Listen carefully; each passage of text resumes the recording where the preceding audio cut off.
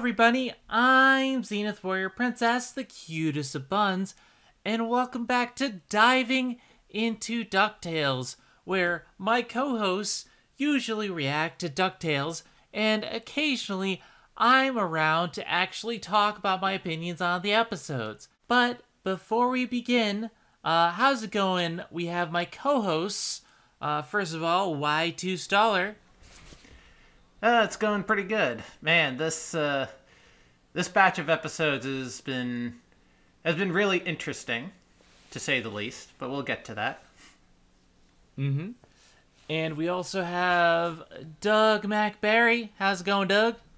Oh, going okay. Uh, feels like forever since we've done this, but yet it's only been like a few months. But then again, 2020 was such a long decade. Tw 2020 was the decadiest of decades. It's uh, let, let it let it let's go past this part. In in fact, let never play this again. Um, but I want and, to play uh, Ducktales again. and also we have Kat Macberrie. How's it going, Kat? They canceled DuckTales. uh, yeah, they canceled DuckTales. Uh, I, I actually heard about it, like, at the last second because of Kat, And I'm not really appearing on camera as much anymore. I like to basically uh, try to keep off camera as much as possible. So we did that little gag bit, but now I'm here to talk on my thoughts on the season overall, uh, the, this batch of episodes, uh, the cancellation of DuckTales, all of our questions so far. There's a lot to discuss. We're going to try to keep it uh, to a reasonable time. But uh, yeah, um, is there anything uh, you guys want to get into before I start talking about my thoughts on this batch of episodes? Well, I did want to say on my end that uh, since we're kind of combining this as both a podcast and a Q&A, I do have a list of questions both in relation to the episodes as well as going forward what, you know, what we want to know and what we what, what we hope to expect from the show from here on out. I also have a bunch of uh, comments that I want to share that were uh, posted on our videos, you know, give some of our give, give some of our faithful viewers a, a moment to shine and to answer their questions since I couldn't at the time. So forgive me if I stop every now and again just to bring up something that somebody wanted to ask us about. Alrighty, and with that uh, with that stated, with that out of the way, let's get started on this batch of episodes. Honestly, this season has been really, really good so far, and this batch of episodes in particular was really good. There's only a couple episodes that I felt were weaker, not as bad as some of like season two and season one, um, but just not like to the same level as what I usually come to expect from this season. But uh, we started off with a really great note with the Phantom and the Sorceress, which is about the Phantom Blot. We finally get backstory for the Phantom Blot. Um, we follow up with Magica De Spell and Lena becomes a white mage. Um, this episode was really, really good. She goes Super uh, Saiyan. I... Super Saiyan. She achieved her final form. and they used um, a montage. Montage. And for um, some reason, Gladstone's in it.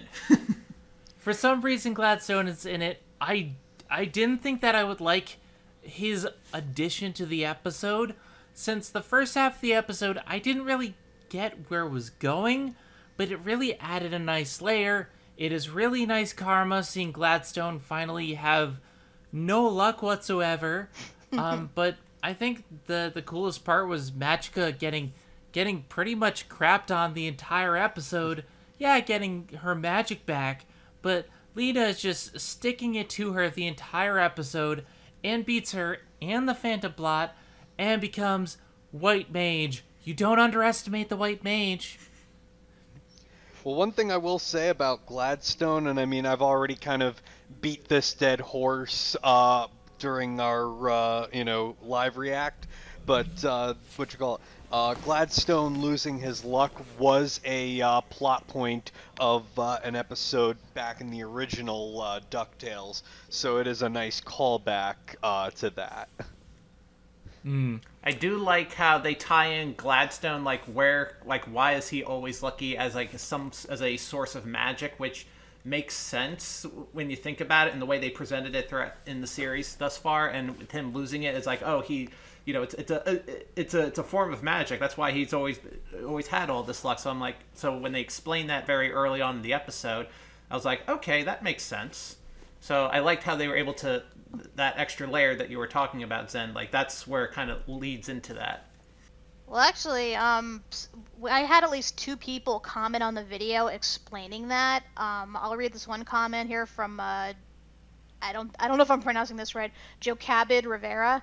Um, he said that Gladstone's luck is explained in the comics. Before Gladstone was born, a painter painted a good luck hex on the front of the barn and a bad luck hex behind the barn. I believe Gladstone grew up in a farm, and the painter explained that it's a gift for the baby. He'll face good luck in his life, in you know good in front of the barn, and leave all the bad luck behind him behind the barn. The hex is a form of magic, which would explain why Gladstone lost it. Hmm. Okay. And kind of explains Donald too. Um, interesting. That's very interesting. um, I also really, really love the the comedy in this episode. Gladstone, just like uh, no one ever like a random twenty dollar bill just never uh, popped into my hand.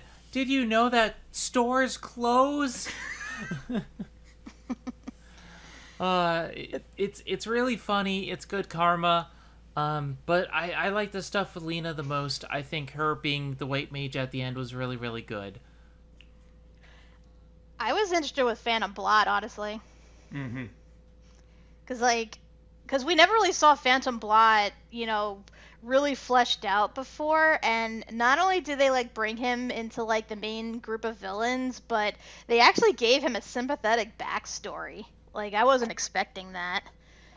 Cause when, cause when we're, cause when we're watching like hit him, you know, take on Magica, and she explains what she did to him, like, okay. Uh, so wh- here, here, how about we do this? How about the girls just leave, let Phantom Blot, you know, just do his thing with Magica, and there you go. Because like, I I'm actually starting to feel like Phantom Blot might become a good guy because he has he's pretty sympathetic and we'll get more into this later, but I like what they did with Phantom Blot. Yeah, I did too. And actually, was it someone responded in, regards to a comment I made? Because at the time, I was curious because, you know, they show that Phantom Blot was secretly the Funzo mascot, and I thought that this was what that that was the case the whole time, which was weird considering Magica worked for Funzo. But according to uh, Nick the Dreamer, uh, there was a deleted scene where it was going to show that the Phantom Blot became the Funzo's mascot after the events of Glom Tales in order to keep tabs on Magica while secretly working on his gauntlet. The scene itself doesn't have footage, but we have Frank Angones to confirm it. So that makes a lot more Ah. sense to me because I'm like, wait a minute, he's been the mascot this whole time. He could have killed Magica anytime he wanted, and he waited till now. Are you kidding me? Well, at the same time, she lost all her magic, so what threat does she pose? Like he's he he wants revenge, yes, but he's also against magic specifically, and she didn't have them. That would have made her an easier target. Plus, she killed his family. Like that does not her being depowered doesn't automatically mean he's not gonna like go after her. I don't take him for the sporting type. Mm, we'll get into that in a little bit. I, I have a counter for that, but I'll save it. Um, anything else before we move on? I do like how he turned into Donald for a brief bit. oh God, the the most cursed thing ever. Um, Also, we saw the goat again. I am so curious Ugh. about what that dimension is like. I get the feeling we're never gonna see what that dimension is like. welcome to the dimension of goats. um, I'm just gonna say, the next episode, they put a moon lander on Earth. I don't really have much to say about it. It's a decent episode, but I think it's one of the weaker ones because it's it's there to really advance Penumbra.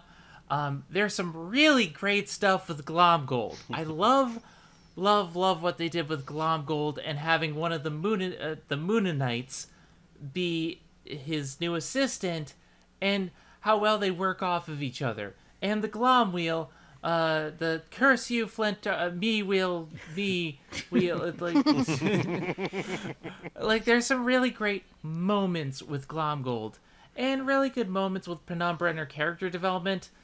But I could take or leave this episode simply because it's it, it doesn't really advance too too much. I don't know. What do- what do you think, Doug? Um, I mean, definitely this is a good one for, you know, finding out, you know, since the uh, Moonvasion, uh, how the Moonlanders, or Mooninites as uh, we love to call them, uh, which how they've been adjusting to life on Earth. Um, it is, yeah, it is interesting to see uh, Penumbra. Uh, apparently, we learn that um, what you call it, there's there's the whole relationship between um, Launchpad and uh, Penumbra that is apparently doomed from the start because she's not into his type, if you know what I mean. Um, so that's already interesting enough. But the thing that th- this episode, more than uh, Glomgold, more than the Moonlanders, more than anything, the freaking ducks. Yes, can The we talk about the freaking ducks, for a bit? God. I mean, the can of worms that opens up, and just how, like, nobody is acknowledging it except Penumbra. and the internet, Well- for that matter. well, if you think about it, this is set after a nuclear apocalypse where there's actual ducks that didn't get radiation and then the ducks that evolved from humans. I guess. Where's your logic for that? So is it like, uh, from BoJack Horseman, is it like sort of a chicken for days uh, scenario? That's what I was in which- thinking. Yeah. I was thinking that too. There's like a there's like it's the same sort of duck species, but they were like they were kept in like crates and stuff, and basically became nothing more than mindless animals for like raised for slaughter. Just the expression Yeah. on Penumbra's face, just like, wait, what? that was my reaction too. I mean, I know they were Honestly, I didn't even notice. I don't really think about these sorts of things, but that's just me. Um, I will say that this is a good episode for Penumbra, getting to see Penumbra grow and evolve and finally realize the value of Earth. And the stuff with Launchpad was great. The stuff with Glomgold was amazing. Why didn't we get the Glom coaster though? I'm upset. I wanted the sharks. Speaking get the of- Chris sharks. wouldn't cover it. Speaking of, I, I also it, it, it's one of those things that I keep forgetting. But Dewey's uh, little side plot about you know him having to you know him wanting to be caught on uh, one of Glomgold's rides when it breaks down, and he keeps getting upstaged by some some other duck. Timmy Jenkins. That Jenkins. was really good too. I will um, not be Timmy Jenkins out of this again. and yet he did, even though he was trapped on the ride. um, I, I will it- say, it's a comedic episode. Yeah, definitely a fun episode. Um, I just real quick, I just wanted to say, like, I know you didn't notice the whole thing with the ducks. I didn't notice the whole thing with Penny, to be honest. Like, that kind of went over my head at first, just the way she kind of worded it. Because I had someone in the comments, like, Giant Robots Conquer the World was saying, like, I can't believe you skipped over Penny's coming out. And I'm like, what? Because like when I- she said like I she said like I'm not into Earth. Uh, she's like I'm not into Earth males. I thought she wasn't into Earthlings, but it's like oh no, she's actually a lesbian. Canonically, she is. Hmm. So Oh, I. Oh my god, I am a bad. I'm a dra- I'm a bad lesbian. I didn't even realize that. Well, th- that's the thing though. They worded it so specifically. Like it does feel like I know I they shouldn't have to call attention to it, but You know, it's, the whole queer baiting thing. It's like with with I- kid I- shows. I feel like Violet's dad's w- situation was easier, like it was better, you know? Yeah, well, You that that was a little was more going on. blatant. So. Yeah. Yeah. um, I I didn't notice any of that stuff with Penny. Um, Glomgold was the best part of the episode for me. Uh, and I'm not saying this is a bad episode. I think it's weaker than some of the others that we're going to be talking about, simply because it was mainly focused on comedy, and it's really funny, but there's not as much to talk about. I would have thought you'd been happy to see more of uh, Zenith. You know, she had more of a speaking role. We had more of me, but that that's besides the. I mean, But by the way, someone pointed out something interesting to me. Um, was it Mike the Chicago critic mentioned that her voice actress is uh, April Winchell? So you know the same voice actress for Black Heron, the same one as Cruella de Vil and Peg from Goof Troop, and Miss Finster from Re- Recess. Office supplies. Office supplies for everyone. Office supplies for everyone. oh god, we have stuff to talk about with Black Heron because I've actually come around on that. But uh, 1st We'll of all, um, be- before we get to that, I do want to talk about the next episode, unless someone else, uh, someone has something else to say. I'm good. All right. So the next episode, I really liked, and I know people have differing opinions on this, but uh, this is called the Trickening. It was the Halloween episode, and this is one of my favorite episodes of the season. And I know it has these problems with the structure, but I think a lot of it is I love Halloween. Halloween is my holiday, and when I approach Halloween, I don't approach it as horror. Like I don't I don't need things to be horrifying. I approach it more in the Halloween Town spirit, um, or the Costume Quest spirit. If you've ever played that game, um, I love trick or treating. I love the fun aspect of Halloween, and this spoke to me on a lot of levels. Um, I love that they have this haunted house that supposedly has all this candy when it turns out to be monsters in monster costumes. And that was an interesting twist for me because the original monsters uh, are there. They're the old school, like Frankenstein, Nosferatu, but they're not scary anymore to some people. So they have to dress up as clowns and, and other such stuff. And I thought that was funny uh, and clever. Whereas with the B plot, we have Launchpad believing that Halloween is real, where we have yet another Evil Dead parody. I loved it. I loved it. Um, but I know you guys have thoughts. Uh, uh, I'm gonna hand it over to uh, Eric. What do you think? Um, I liked how, you know, it's funny because we, in all throughout the entire series, like they've done like Halloween air quote episodes before, but not like something that's focused entirely on like the whole trick or treating, you know, dressed up in costume aspect of Halloween. So it, uh, I'm surprised it took them this long to get to like this point to do a, I guess, an official Halloween episode. And I mean, I'm kind of mixed on it because like I do like the B plot with Launchpad and how ridiculous and how far he goes. I although there are parts of it where he goes a little bit too far, but like, but like the A plot. I mean, the A plot is interesting. Is the A plot's only good when they get to like some of like the creepy stuff when they do like the the horror stuff, like the creepy stuff when they go inside the house and there's and all and uh and Huey, Dewey, and Louie and gang are all scared and stuff. But I feel, but overall, it's kind of. I mean, overall, like like plot wise, like it's there's some stuff that I could that could have been better, but there is the one part with when the the plot lines start to converge, and he and uh, Launchpad sees the monsters and he tries to ward them off by by reading a spell, which is basically a list of ingredients on the candy wrapper to try and to try and cast them away. And Monosodium glycochloride, artificial flavoring. and I thought that I thought that was brilliant, and it tied everything uh, up, tied everything together. But like, it- for me, it was a mixed it was a mixed bag of goodies, pun intended.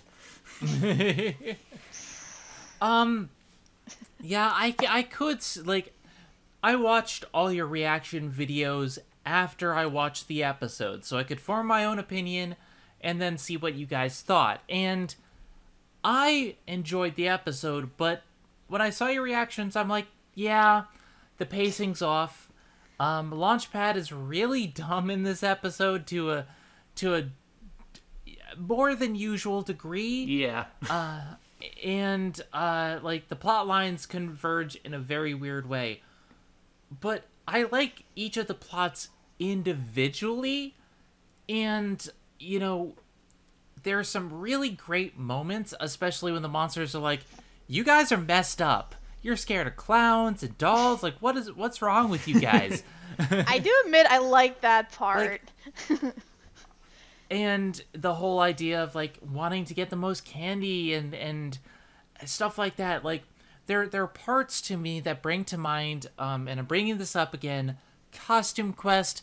It's a game made by tim schafer uh studio double fine and basically kids start trick-or-treating but monsters kidnap uh their brother and they have to go and save them by trick-or-treating and fighting monsters it has that same energy and i love the a plot the b plot i definitely can see this this evil dead vibe but it doesn't quite gel with the a plot and there's some things that i i think are a little bit uh, I, I don't think della should have encouraged launchpad to be No. honest and, at all Well, um what was it? Someone in the comments pointed out something. I was a Shakespeare addict. Uh, asked, "You'd think uh, Della would have wanted to trick or treat with the boys, seeing it was her first Halloween with them." And I gotta agree. Right right I mean, some. I mean, there was someone responded that like, well, to be fair, the you know she hadn't spent time with her brother in a while either. But I'm like, yeah, why wouldn't she want to go with her kids? Like, I know they're getting a little older, they can trick or treat on their own, but you think she'd want to, you know, considering how she co- tried to combine all the holidays when she first arrived and everything, she this would be like the first legit holiday she spent with him. But no, she spends it wanting to terrify other kids and you know further traumatizing this poor man who thinks that Halloween is real. That, yeah but but the angel devil costumes were a nice touch i did Yeah. like that um so yeah i i do i do see where we're getting at with with it's a mixed bag there are parts i really do like and the parts i don't like but i i honestly i feel like the parts that i do like override some of the stuff that i don't and uh, I like the ending where, where he finally learns what Halloween really means. I just I, I Happy Halloween. oh god. Just don't get me wrong. I watched this numerous times since the reaction video, and I don't like dislike it as much as when I first saw it, but I still don't like it. And just because they have to like reach so far to make certain things happen, it's like you got to make Launchpad even dumber than he is. Like you know, in order for him to fully believe the whole thing about Halloween, it's like, doesn't he watch television? Doesn't he see like Halloween decorations up? Doesn't he see like costumes stores? You mean to tell me he doesn't notice any of that stuff leading up to Halloween?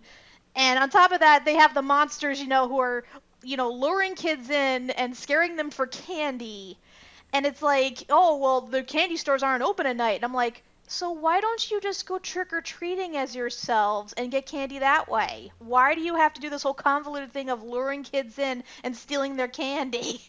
And then of course Louie's like, and then Louis Yeah, of course is like, oh, we, we can it." go uh, to this mansion and get decades worth of candy. Why would you want decades old candy? That shit's gotta taste nasty.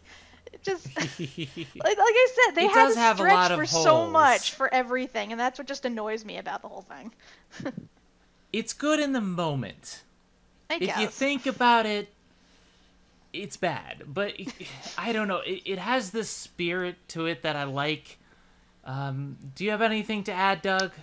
I mean, I don't really have much to add. I mean, honestly, I'd say this is probably the weakest uh, DuckTales episode in general. As a uh, Halloween episode, it's just okay.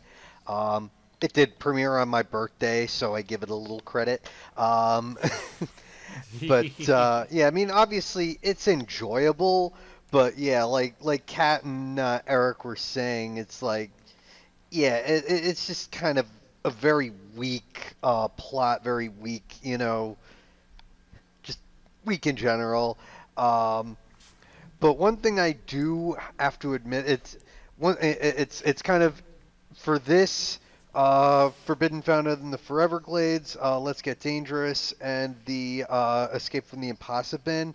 Uh, one thing I liked, um, mo- and, and kind of what, what Eric was saying about how they've had Halloween quote unquote episodes or, you know, scary-ish episodes that they've been promoting. I mean, I think the last season they were promoting uh, Depths of Cousin Fethry uh, for their Halloween episode, which, I mean, I guess it kind of works. But in this case, uh, when Disney uh, Channel was um, promoting, they were not just promoting uh, the um, the trickening. They were promoting every single episode that was happening in October and showing like all the you know really sort of scary moments from each one of those. And I thought that was a brilliant uh, promotional uh, you know campaign they had going there. Mm. I I obviously I don't have cable, so I I watch this stuff after the fact. Um, but that that actually really sounds like a good promotion. And now that I think about it, like a lot of the stuff in these episodes really fit for October. Uh, anyone else have anything else to add? I do like they got four like horror legends to voice the uh, vo- the monsters. Yeah, that that that was really cool. Like honestly, I like the A plot a lot, even though it has holes, and it really feels like they were trying to tribute to the classics. You, you know what it feels like? Actually, the perfect analogy. I don't know if you've ever been to Count Orlok's Gallery of Horror.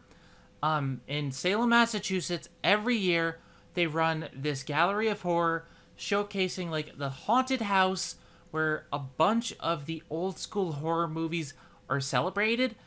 It really reminds me a lot of that, and I think that's part of why I like it. Um, all right, uh, the next one that we're going to be talking about, the Forbidden Fountain of the Foreverglades, I think is the other weaker episode of the season. Um, I had seen a lot of this episode coming, and I don't think it's a bad episode, but I think this is a treasure that should have stayed buried, uh, because they're trying to find the the the Fountain of Youth, which, much like the original legend, and if you've seen the Pirates of the Caribbean movie, it steals youth instead of giving youth, and I'm like, why would you want this treasure? And uh, there, there, there are some plot holes that were, were pointed out. Like, Ponce de Leon was obvious from the get go, but how does he have a resort if, you know, how, how has he been doing this all along with the internet and people leaving reviews and not getting caught?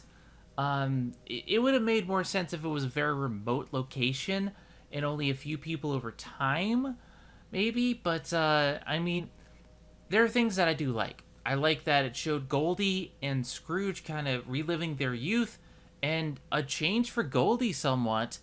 Uh, there, there's some really good ideas in it.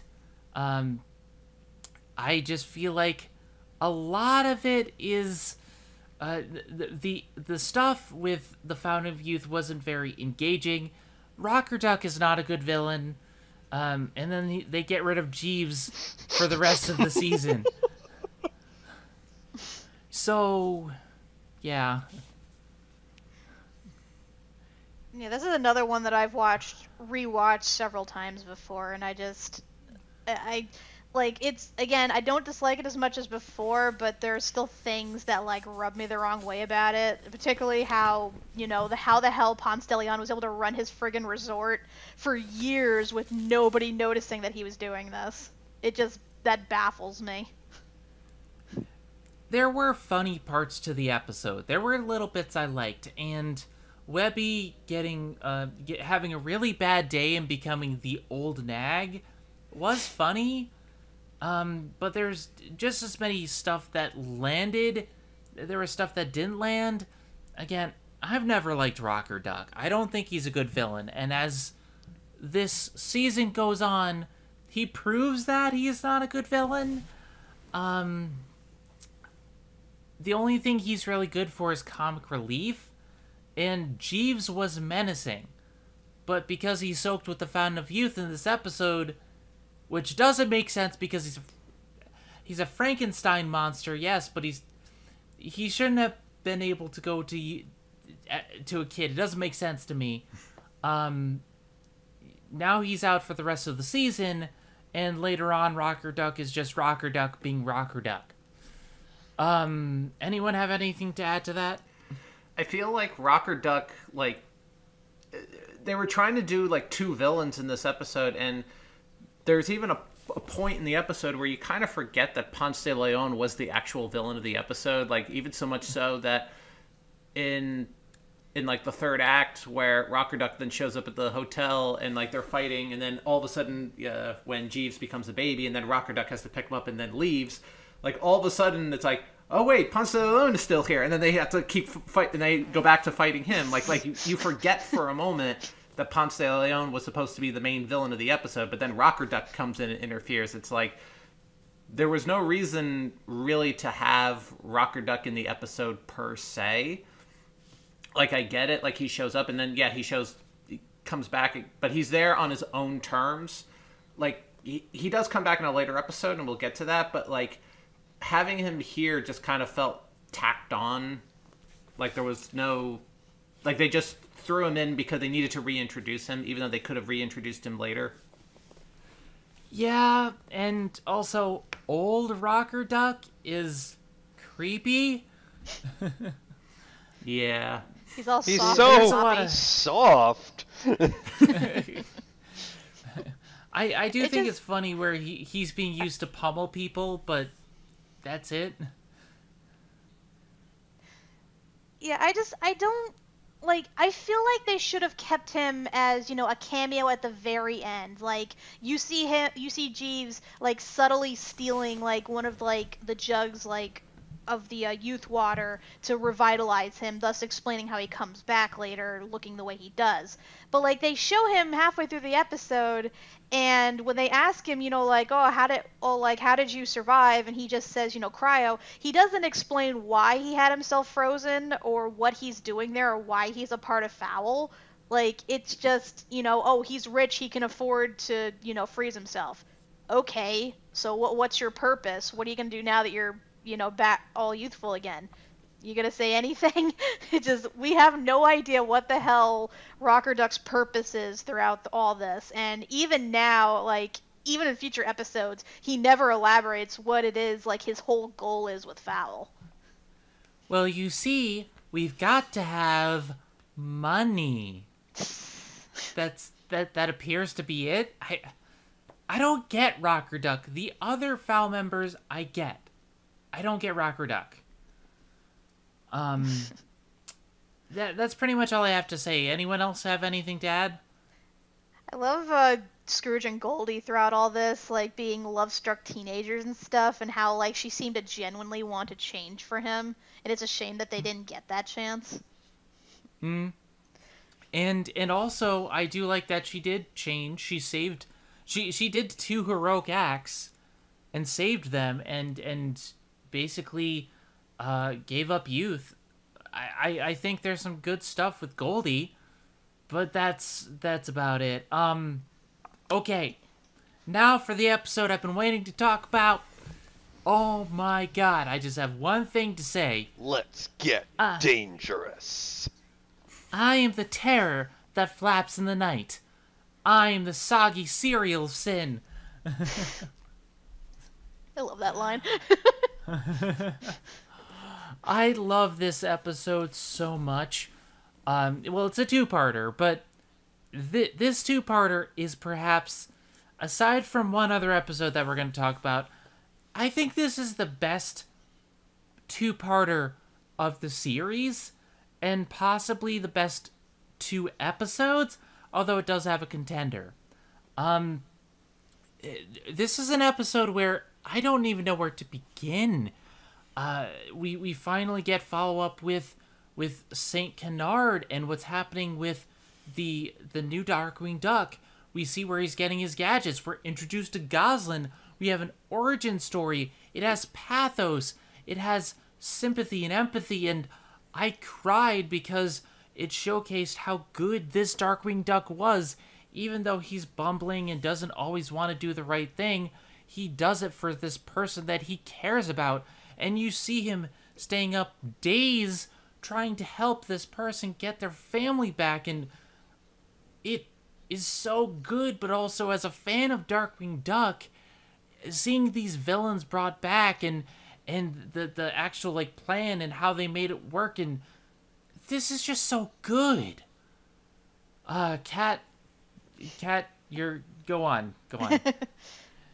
yeah, I, I was gushing too. Like I love this so much because I I've been waiting for this. Like once once it was established that you know Darkwing would be a more solid presence in this show, I knew it was only a matter of time before they set up a spin-off for him. And this was just fantastic. It drew from the original source material, it drew from the comics, it drew from the original DuckTales. Like it had like so much going for it and it, and it's not just the main plot with Darkwing you know the side plot with the family too was pretty interesting. It actually tied into the main plot and with Fowl. Like I d- was not expecting that. I thought this would be a standalone but nope.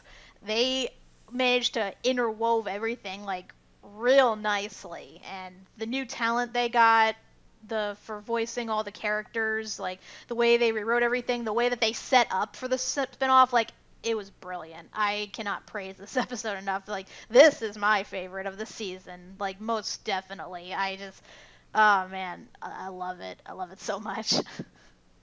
Oh it's so good. And there's two things that I do want to address and then hand it over to the others. But uh, the first thing that I do want to address is I love how we finally get the the outing of Bradford, Bradford Buzzard, in this episode, and throughout the episode, like he's trying to hide it while still being turned on by Bulba, and it's tied in so damn well until he gets until Black Heron comes in and uses a foul helicopter.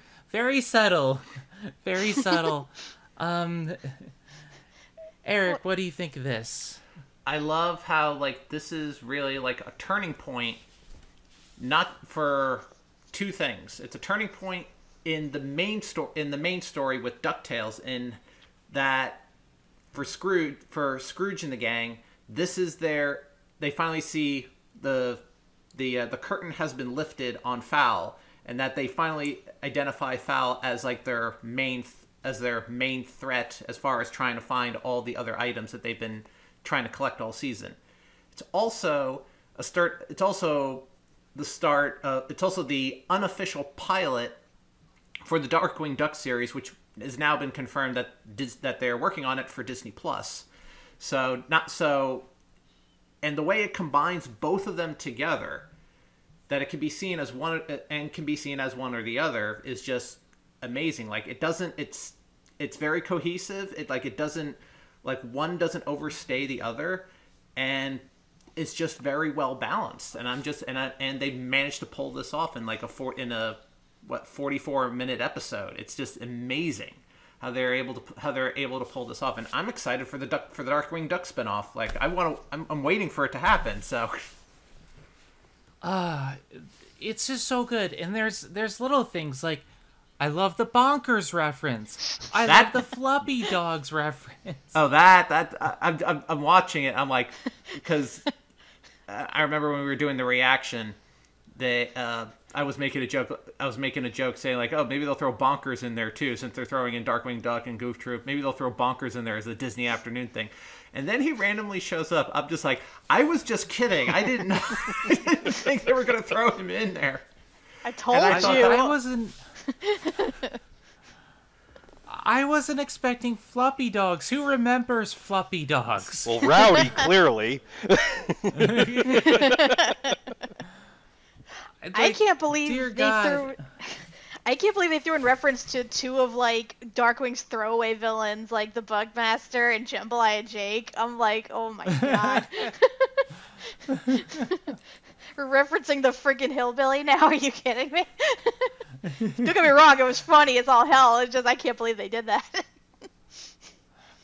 And one thing that I do want to bring up also, because this ties into to Bradford as well, I love Black Heron in this episode, and I think this episode and some of the recurring episodes afterwards actually like made me like Black Heron much more as a villainess. And I finally understood her deal. Because I always used to think of her as a spy and nothing really more. But now that I see her and I'm like, she's she's basically the the Bond villain. She's the hmm. evil mastermind. She has these big plots and she doesn't care about subtlety. Like, come on. Who, Subtlety, what's who- that? We're foul. We're evil. Evil. Oh, you expect us to fly around a helicopter without a logo on it? Yes. oh God. I- Um, I, I will say though yeah, that like- this whole situation could have been avoided had Bradford not shown up there. Because think about it, the only reason they found out was because the t- the triplets overheard him talking to himself, and of course, you know, he had to get Heron to get to you know organize his escape plan, which he did with the most uh, in the most obvious way possible. Like, had he not shown up, they still could have kept their secret. Like, he had really no reason to be there. He was just there to like yell at Bulba, and that was it. And it's like you Yeah, couldn't he- have done that over the phone. Yeah, he probably could have done that over the phone. Although it was a really great reveal because I didn't see it coming. And, like, seeing him come up is like, yeah, but we're supposed to do this subtly, and this is more chaos. And and seeing Bradford just unleash his his like inner rage against the the, the triplets, very cool. Was it um I love the the fearsome four when they showed up. I'm like, yes, yes, yes. All we're missing is Negaduck and then everything's complete. Surprised he didn't show up in this, but I guess they didn't want to distract too much from the everything else. Yeah, I think they might be saving Negaduck for other things, and I'm curious uh, about what they're going to do with Negaduck. If they're going to keep this Negaduck to the DuckTales universe, because at the end, the, the Darkwing villains go back to their own universe, and the Ramrod, which is either a Super Troopers reference or just really awkward naming, um, is destroyed. So, I don't know. Uh, Doug, thoughts? I mean, yeah, basically to piggyback off uh, of Eric from earlier, it's like, yeah, th- this show just the they they could have so easily just kind of put you know the Ducktales main plot to the side, made this such a filler episode just to focus on Darkwing, um, you know, and yet they the love and care, just the complexity of balancing both of these storylines, of having both, you know, advancing the story to the next plot and having this backdoor pilot for Darkwing Duck. And you have, you know, multi dimensional stuff. And you advance Owlson's uh, storyline, which who the hell would have thought she'd show up again? But thank God they they made her mayor. I'm like, she so deserved it. But it's like, I I am just in awe. I I freaking love this episode. Um, who knows? Maybe you know, there's something more to the Solego circuit if they're you know bringing it up. Uh, so there could be potential for you know traveling the multiverse again if they find a way.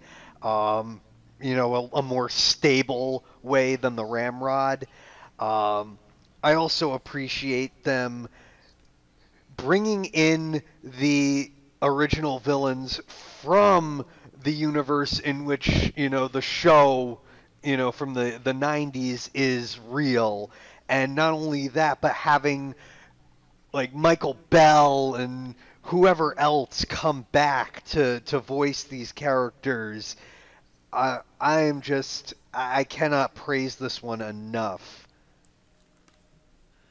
There's also the fact that they bring in even more references like two past DuckTales where they have the universe with the Quack Pack. and and I I forget what the the recurring phrase one uh this what is it the sea monster ate me ice cream or something like that? Like sea monster yes. ate my waffles. No ate my ice cream. I watched that episode again and i'm like how did i forget this? It was, it was like batshit insane those two minutes where he just repeats that over and over. There's actually a clip on youtube of just that from the original series of you know sea monster ate all my ice cream. With all that being said let's get dangerous is a fantastic episode. Um, I, you know, I've been gushing about it. We've been gushing about it. I don't think I can say too too much more without sounding like a broken record. Probably the best two part of the season, maybe the best singular episodes of the season. Um, but we'll get to my favorite in a little bit. For now, let's go to Escape from the ImpossiBin, which follows up on the events from the previous episode with them getting ready to fight off Foul. Um, everyone's paranoid. Scrooge beefs up his defenses and he wants the family to figure out ways to get through them. And since, you know, uh, he thinks his defenses are impregnable, uh, he's, he's all laughing it up. And then in the B plot, we have Mrs. Beakley trying to, quote unquote, train the boys with Webby in order to get them ready for any surprise attacks. Um, I love this episode. It's not it's not quite as good as Let's Get Dangerous, but that's really hard to top. But it it does some really good character stuff. Uh, I love the A plot simply because it showcases all the in like crazy traps and stuff that surround the money bin, and I'm wondering if you have this, how are the Beagles a threat? Because they have a time loop room. They have a time loop room. They have a time loop room. I think Zen might be broken. Have you tried resetting Zen? Might. Have you tried turning Zen on and off? They have a room with giant tentacles. They have a room that has like reverse gravity for specific things. They have a room with saw blades that are invisible. It's pretty crazy. And then they have a Scrooge robot. Now, they get through it because they are the McDucks and they do this for a living, but I'm I'm sitting there thinking like most of their regular villains would not be able to get through this. Well, I think the thing is that most of his villains believe it or not, either are not interested in his Vin or are highly incompetent. So he's never mm. had to mm. go to this degree to protect the bin before. Whereas Fowl, who are you know shadow agents, this this could be easy pickings for them if the security isn't just right. I'm just trying to imagine Glomgold trying to make his way through this. The only reason he made it into Scrooge's bin that one time is because he had to stop time. Literally stop time. That's the only reason he was able to get in there. But can you imagine him at any other point being able to do that of his own volition? Don't tell me what to do. All I do is win, win, win, no matter what. I Got money on my mind. put, put your hands ah. up, and they stay, and they stay there, there, and they stay there. there. And now we're gonna get copyrighted. we're gonna get copyright strike because of that. Oh god, I really love the A plot, especially because when they finally get through all these crazy traps, which were devised by Quack Quackfaster, and Gyro, the most devious minds that they could think of, which are their best friends in, in their employ.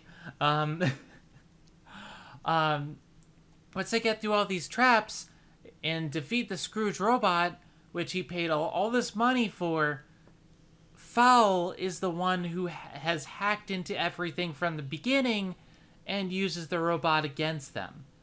I think this twist was actually really good because initially I thought, oh, Scrooge forgot the, the combination or something like that. And, you know, Scrooge is clever, but he's not infallible. So I believe that.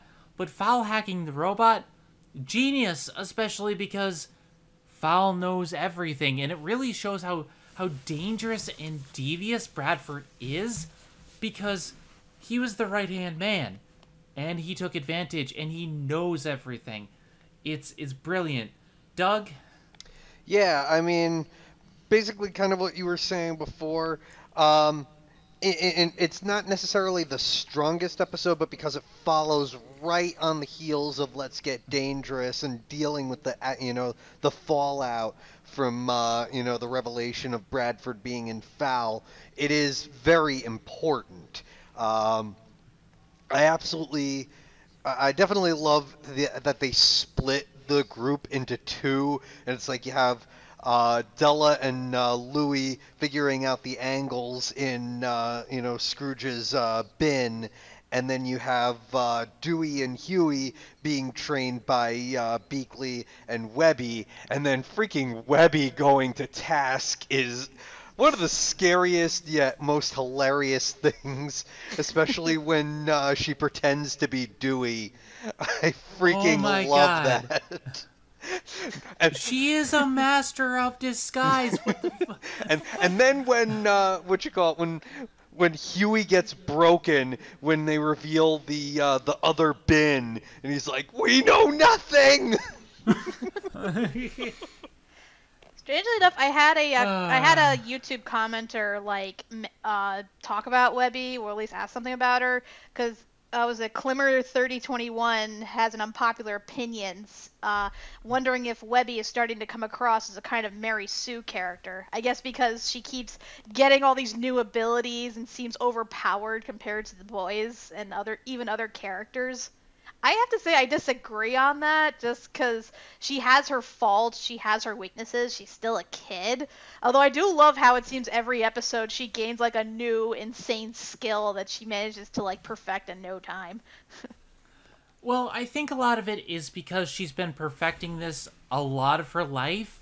I mean, Mrs. Beakley is a super spy. She trained her in everything, and yeah, there are some some things like her mas- her mastery of disguise is eerie because there's one episode that we'll get to later where she blends in as a chimney, and then you see her, and I'm like, whoa, okay, this is creepy level good, and and her her Dewey dece- her deception is pretty crazy, especially the way she's able to talk like Dewey.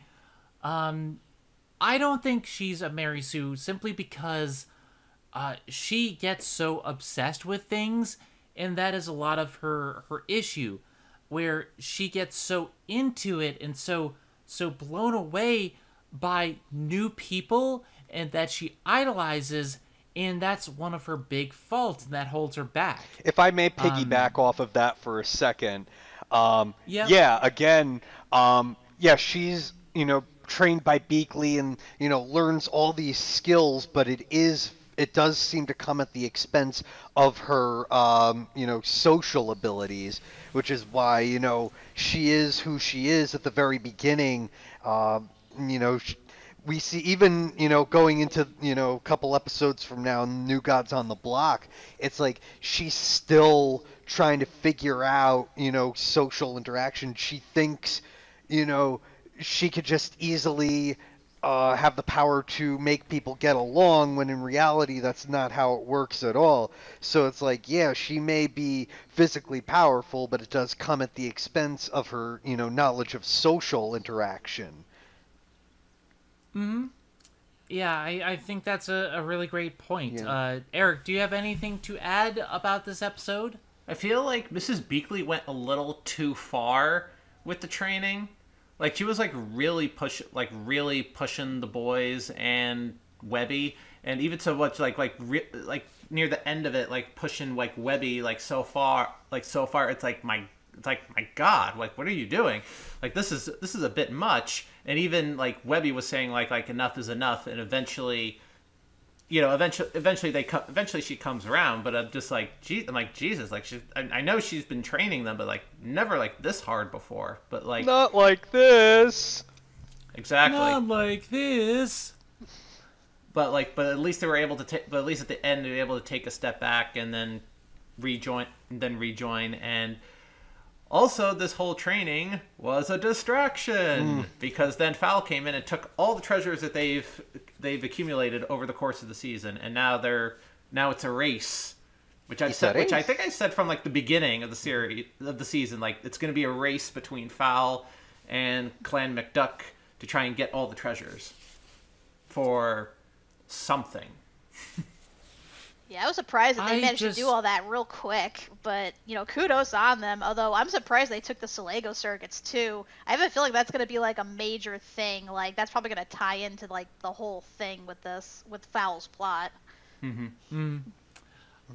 I do think this episode has some minor problems. I definitely think Beakley went too far, but they're leaning towards this being a plot point with maybe Beakley having a, a an issue in the past. I mean, there is something that connected in the first adventure that we'll get into. Um, but overall, despite some minor issues, I like this episode. I think it was funny for the B plot, and the A plot was very suspenseful and did a great job of showing just how devious Fowl is, how cunning, how dangerous.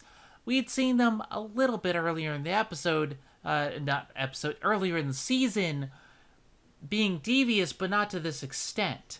And uh, just now that we actually see their plans in motion, th- this is a force to be contended with. Um, anything else you guys want to add? I did want to mention uh, two things. One, I love Della calling out uh, Gyro. that that was freaking hilarious. like, tell us how you really Long feel.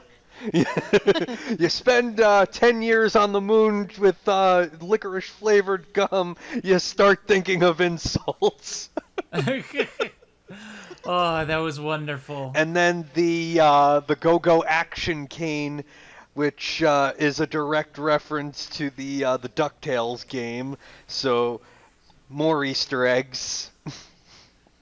Yeah, that was really great, especially because it kind of felt like the entire episode from Scrooge's point of view felt like a level from a video game. And if they wanted to make a sequel, they could do it. Oh, by the way, did Scrooge ever give uh, Louie and uh, Della that lunch? He probably wormed his way out of it. Well, y- you see, it, it does it does not count because it's family, and family is the greatest scheme of all. Yes, Wait I a think minute, it's- you're really Flint Flintheart Glomgold. uh, speaking of Flint Flintheart Glomgold, you should not accept checks from this man Curse you, because Zen. now. Curse you, Zenith! Because now we're going to be talking about the split sword of Swanstantine. I like that this episode was actually a three-parter. Not well, not a three-part episode, but it's split into three parts. Much like the sword. Much like the sword, and each one um, has different things for different characters. This is very much a character-building episode, and they each have to learn something about themselves to earn the sword. And uh, it's all a race to get it and put together, and the ending is really great. Um, but there's also a twist to that twist. Um, but let's take this bit by bit. First part is uh, uh, blah, blah, blah, blah, blah, blah. Dewey and Webby fighting against Gandra Dee. And then there's uh, Louie and Violet with Rockerduck. in Huey and Lena versus Steelbeak. Very interesting pair ups, to be sure, uh, while Scrooge is busy taking care of Black Heron. Now, personally, I think that Dewey and Webby's part was the weaker one because, well, Gandra Dee is an interesting villain. I'm not really big into her. And the whole point is that they get flash bombed, and Dewey uses confidence and luck to scale the building and get the sword. uh, Kat, you want to take that? Yeah, I, I made a big deal about this when we first watched it because it just was insane to me that Dewey was able to scale that building while blind with like minimal effort. And I get he's like really confident, he just does stuff without thinking, and that's like his strength. But like it was baffling me. However, um, YouTube commenter Caleb Ray pointed out that Dewey may have inherited some of Gladstone's good luck and that's what helped him through that, which I'm actually inclined to believe. so yeah, I can totally believe that maybe like some inherited good luck came through with that. Because when you think about it, like Dewey probably would have died several times over by now on all the adventures had it not been for his incredibly good luck. so Yeah, yeah. And- I mean, Well, I think there's also something to be said that you know, especially because it's with Webby, you know, the, the, the way that uh, Dewey and Webby's minds are very different. Like Dewey's kind of this pure instinct, you know, just kind of you know headstrong, whereas Webby's very you know calculating, logical. So it's it's it's definitely on Webby to you know learn from Dewey in this case that you know sometimes you can't always you know just be logical sometimes you just have to go do it you know trust your instinct You have to Sometimes- Dewey it. sometimes Yeah. you just gotta Dewey it. Exactly. You just and sometimes you pet a snake sometimes you just gotta gauze for it. uh, that's such a bad line.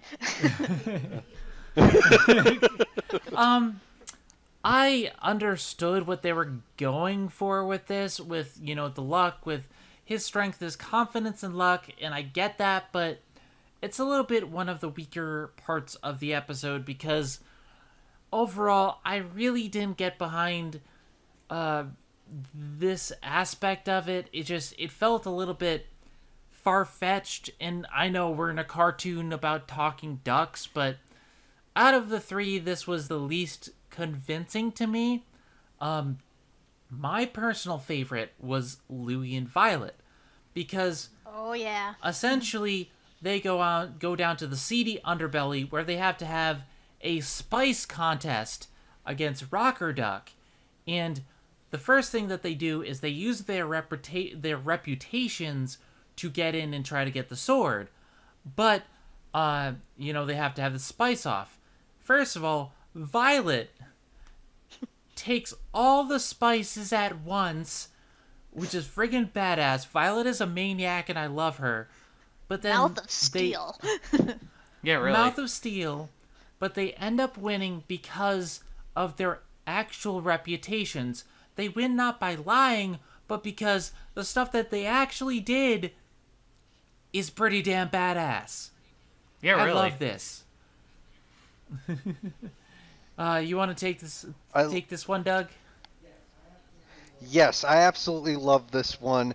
Uh, I love how you know it, it comes down to the truth is actually scarier than the lies that Louie tells. Uh, I love freaking Violet in this one and just how you know nonplussed she is, and she she has freaking nerves of steel. She's badass. I freaking love Violet. Um, You can take she on was Fowl by scre- herself.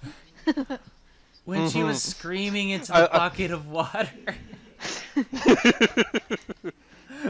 Also, my mouth is on fire. She holds.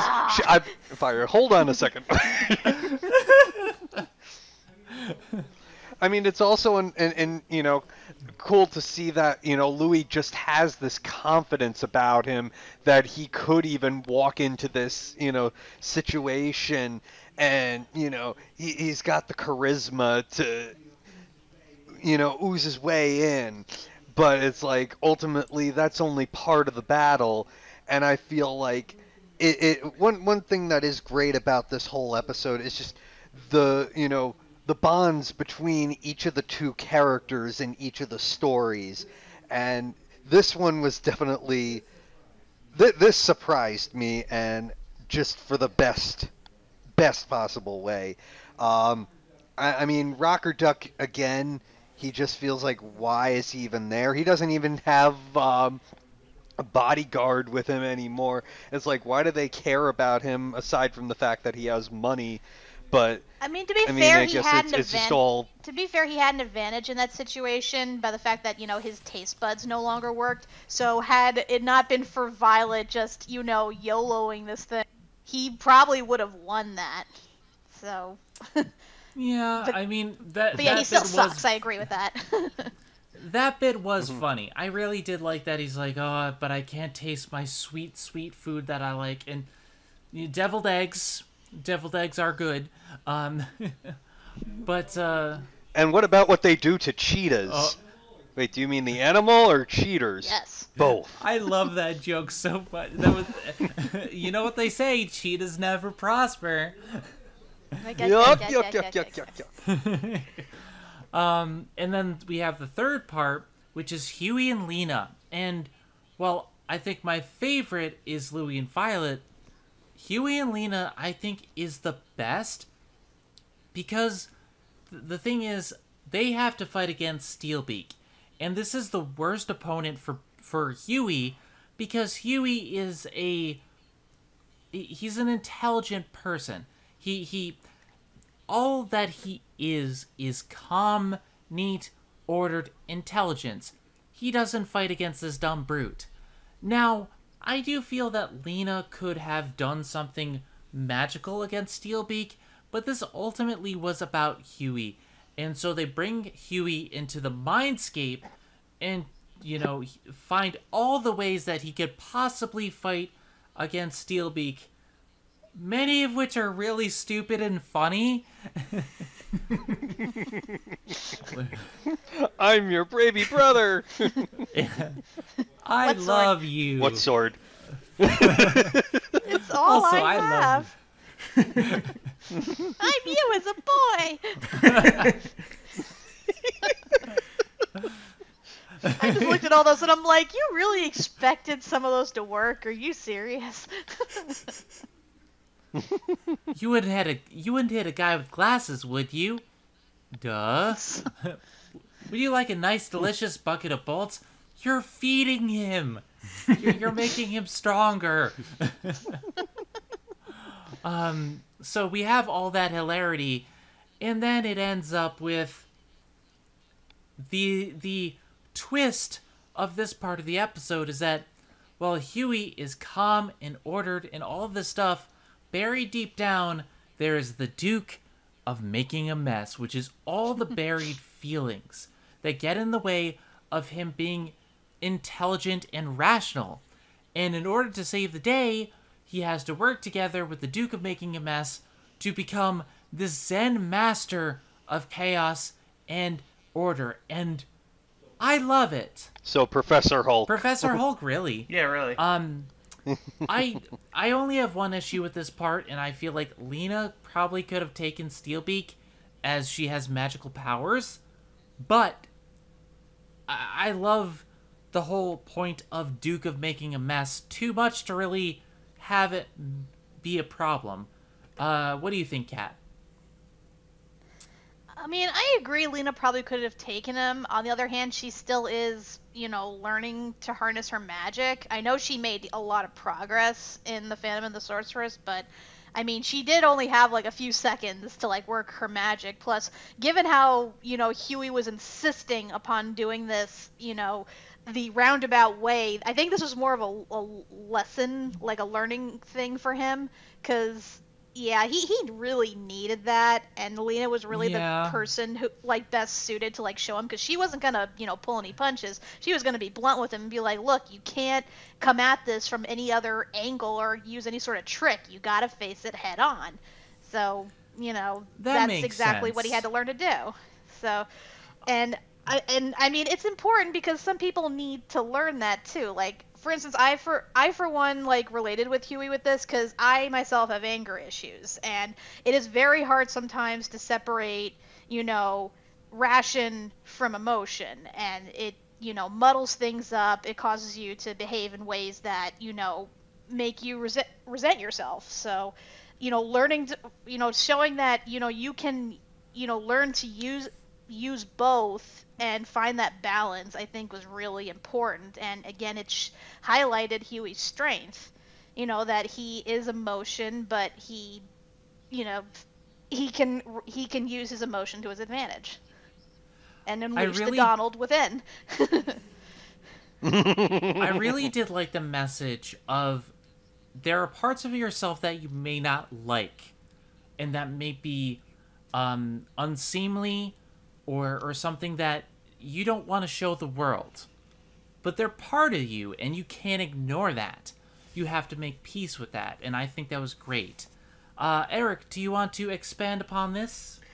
Yeah, I really the Huey and Lena is prob is also my favorite because it is something that I personally relate to, where I try to be very I try to be very logical, but there's also the other side of me that's you know very that can be impulsive and just you know have you know full of emotion and trying to find you know being able to not try to suppress it but all but try to manage it in a way that can be sometimes beneficial.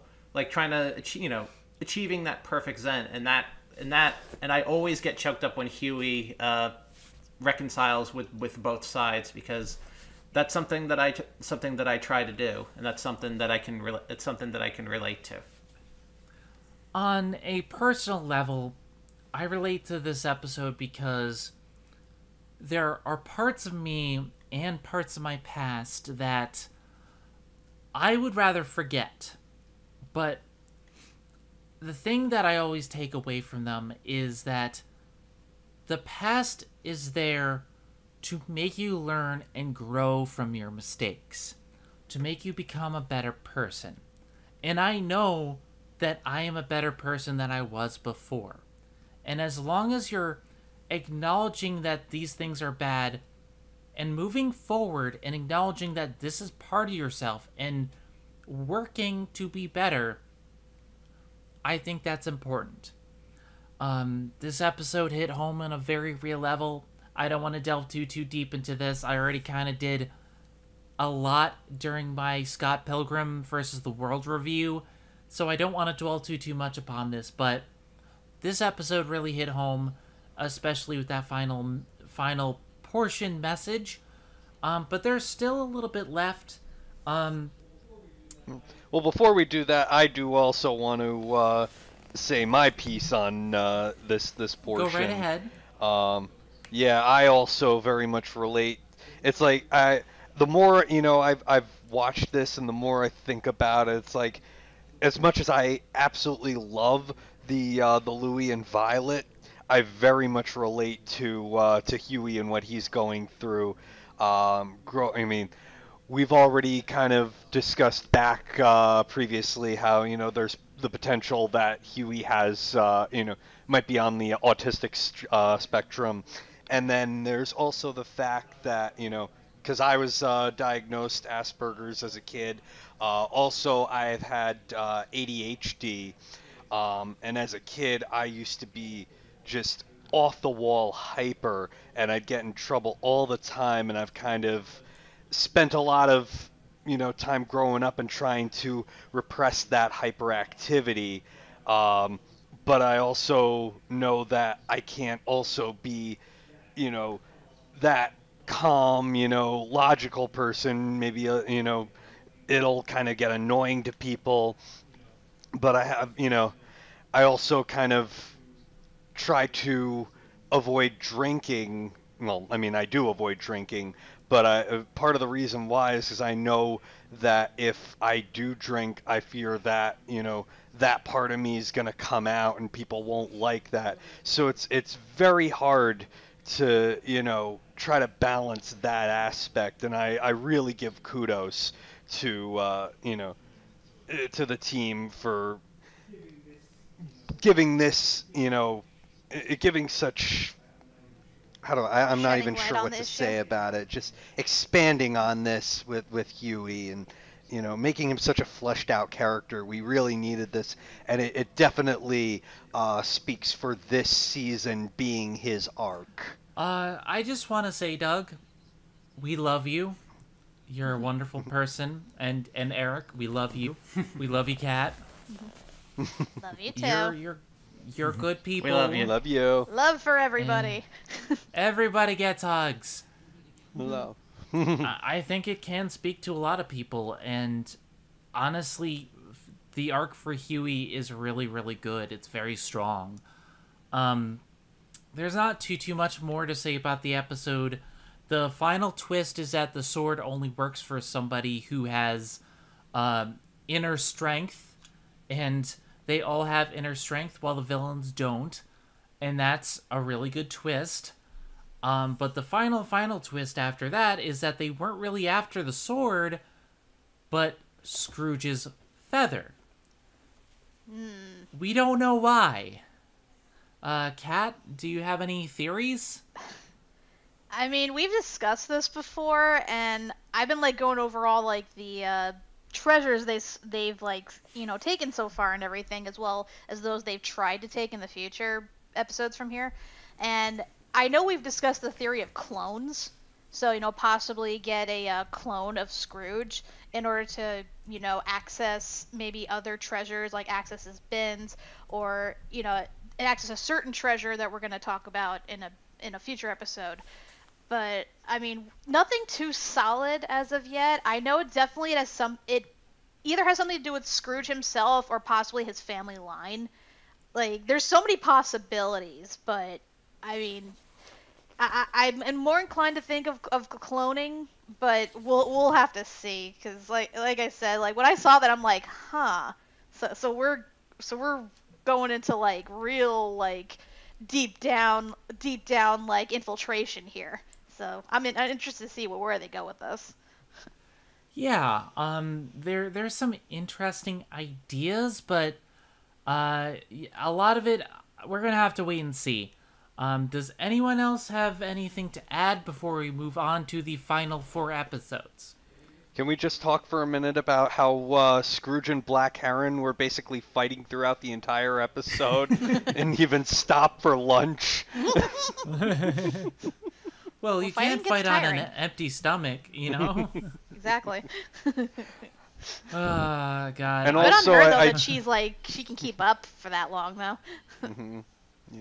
I also did notice, I remember them mentioning uh, something about doors uh, opening, which when uh, we get to the whole, you know, Duke of making a mess, I, I caught that immediately when you see, uh, you know, the Duke of making a mess's door appear.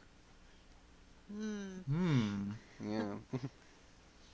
Um, all right, I'm going to uh, try to power through some of these last four episodes a little bit quicker because we're almost at an hour and a half.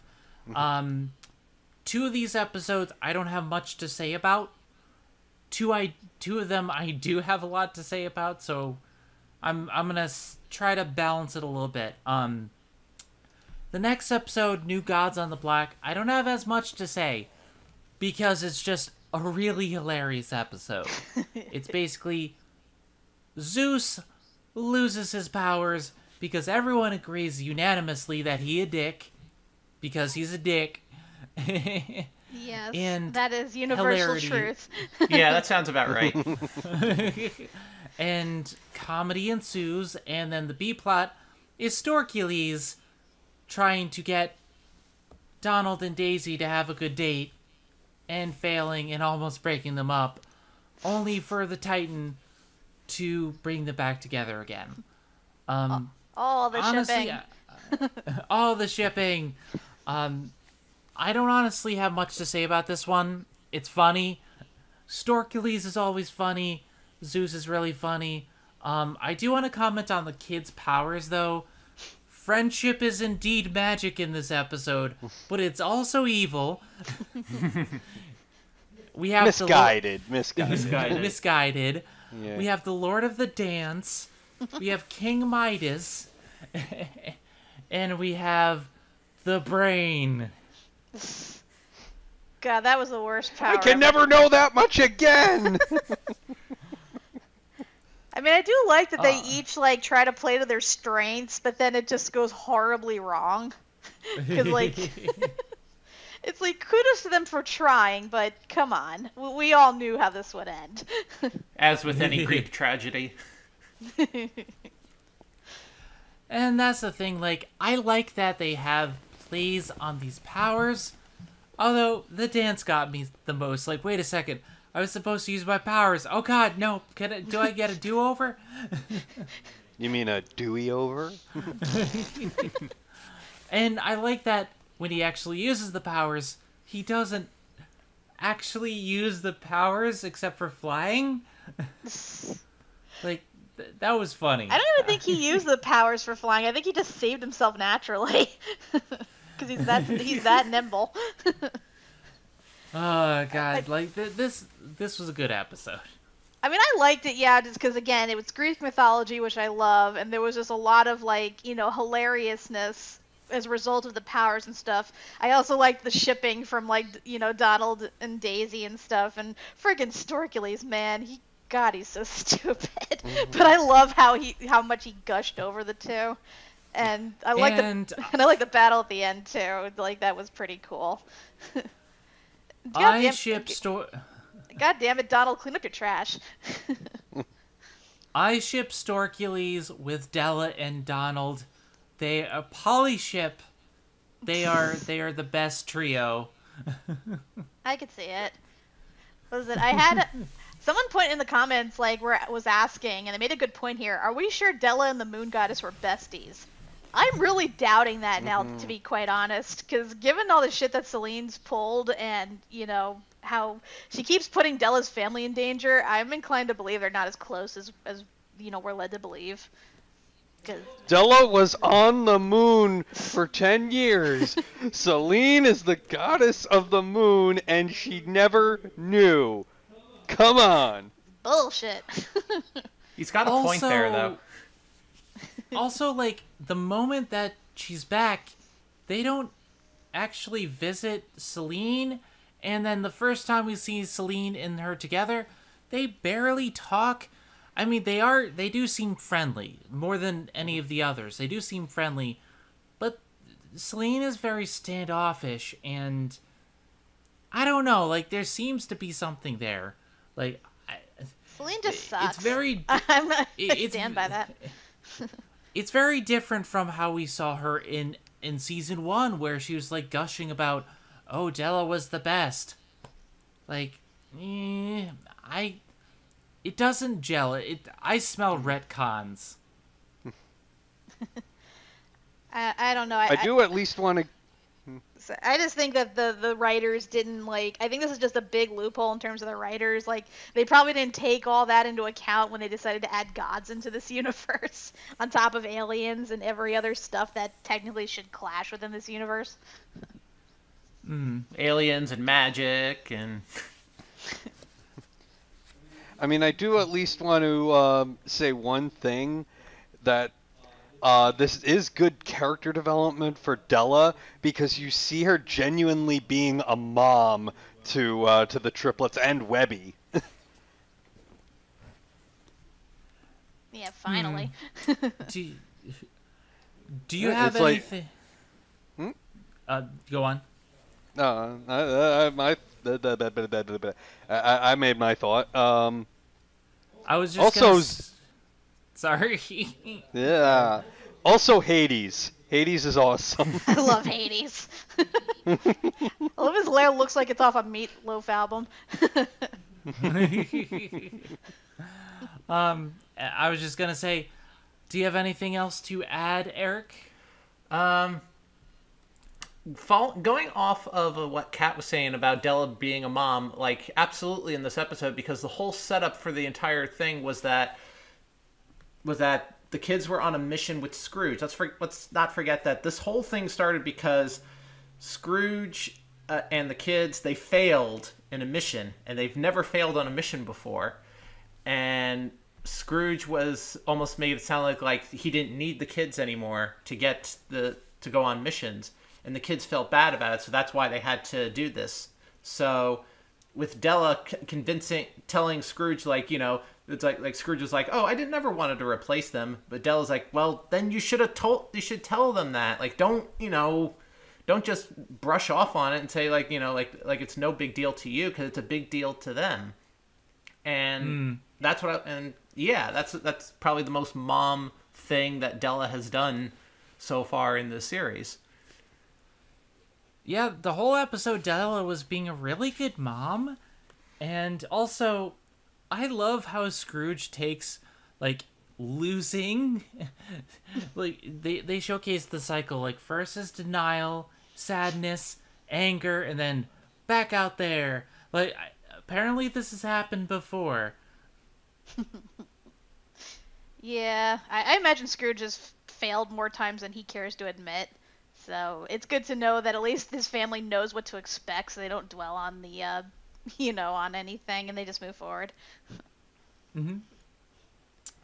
All right, uh, now we get to one of the last big episodes. Uh, yeah, one of the last big episodes, the first adventure, which shows it's it's entirely a flashback, where we showcase how Fowl got started, and then the first adventure of Scrooge McDuck with Della and Donald as uh, they go out and have to find the papyrus of binding. I really do love this episode. It's very different for the series, but I love how it showcases how Scrooge has grown and evolved over the years. Like, he's always had adventures, but this is the first time where he started really enjoying them and, st- and stopped really seeing them as a business venture and more of something fun. And the kids, as sidekicks, while they were in danger some of the time, they brought him out of his shell and it shows why he kept taking them on adventures over the years and also how Bradford was kind of crazy from the very beginning. Yeah, I, I was surprised to find that he was part of Shush. I mean, I guess I shouldn't, because, you know, it seems logical that that foul would have spawned out of Shush.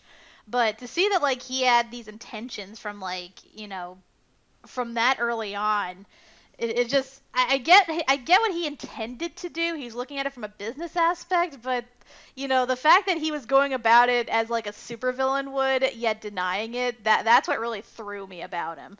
Because, like, I knew that he was, like, you know, supposed to be our big baddie, but the fact that he's in denial about being a big baddie, like, that is really, like, the whole big thing now with Bradford. And I think that's going to end, ultimately end up being his downfall once we get to the finale. Mm. I also really like that Ludwig called him out on this from the very beginning. He's like, I kept you on as a favor to your granddaddy, but you got to stop all this crazy taking over the world nonsense. I can't do Ludwig von Drake accent. I'm sorry. Um, but it's it's really cool. But then it starts him on this path where he sees Black Heron taken into custody, frees her, and they start foul as her idea. Um, it's it's well, she created the F. The, he wanted to start She owl. puts the foul in foul. put the F in foul And this pairing is what really like I started liking Black Heron in this season uh earlier on, but this is what made me like just love her because he's just like we can bring world order and she's like we can bring chaos and evil. We're not evil. Yes, we are. and it's like fine, we'll be foul. I love her unabashed villainy. And that's that's finally what these episodes brought to me is like she is a super villain uh, super villain. She's she's maniacal. She loves just being evil. She's Cruella de Vil basically. and she pairs well with Bradford. That juxtaposition is what does it for me. And uh, I think this this pairing of them is wonderful. Would you agree with that, Doug? Um, I think she's more of the bad influence friend to uh, Bradford than really a uh, compliment to him. But you know, if, if what you see is what you see, then hey, I'll go with it. Um, yeah. Um, I mean, I, I don't really have too much to say on this episode. I think I said everything uh, in our live reaction. Um, I do definitely want to mention, you know, um, getting the uh, young Donald and uh, Della back and the, the new voice actress for uh, young Donald since uh, Russi Taylor passed away. Um, honestly, though, I, I don't have a whole lot to say on this episode aside from, yeah, I very much agree with Kat that, you know, th- this is proving uh, that obviously Bradford's really going to have to take a real hard look in the mirror and, you know, realize that he really is a supervillain. And I think it is ultimately going to lead to his downfall, and he'll have to realize that, you know, I really, we really are the bad guy, and yeah, he's gonna have to face that. Honestly, Black Heron and uh, Bradford, they kind of remind me of uh, Lex Luthor and the Joker when they work together. Cause like in, all in all aspects, they really shouldn't, and in the show, when they cross over, they don't. But you kind of can't help but love it because you know Lex is all smooth and intelligent and has control and stuff, whereas the Joker just goes ape shit and does whatever the fuck he wants, and somehow everything works out. That's what it reminds me with those two, and I think that's how you know they've managed to like stay around as long as they have. Although I feel like maybe Bradford has reined in Heron a little bit over the years, since we don't really see her being as outlandish in the future episodes. But at the same at the same time I feel like maybe Bradford has given in a little more to the evil influence, given what we've seen of him since, uh, you know, Let's Get Dangerous. But yeah, I am interested to see like what happens when he goes full on villain, because you know it's gonna be a shit show, a total shit show. Mm-hmm. Um, I also just want to say that I love the past stuff with Scrooge and the and the the two kids. Like Donald singing all these anti-corporate songs are so funny. like Rich meet guy. old Scrooge. Meet old uncle, my uncle Scrooge. I love it. I, I love uh, how Della's the one who's just like, let's do it. Like, you know, we're gonna go on an adventure. Yeah, woo. And and Donald's just like, yeah, corporate sellout. Yeah. Oh my Um, God, nothing it's can just kill me, I'm dynamic that I immortal. love, and the adventure ends with them finding the papyrus, which is another treasure that I don't want because it's it's basically Wacko's wish all over again. If you're too literal, it's you're gonna get you're gonna get something bad. It's the monkey's paw, where I want the world, but where would I put it? Here, it spins. Bucks. I wish, I wish for, for fame and fortune. I wish for all the dough in the world. like there's some really good stuff with this and the fact that they use the papyrus to erase the memory of Bradford is very well done. Um the question is where is the papyrus going to go now? When is it going to resurface? Who is the heir? Lots of questions.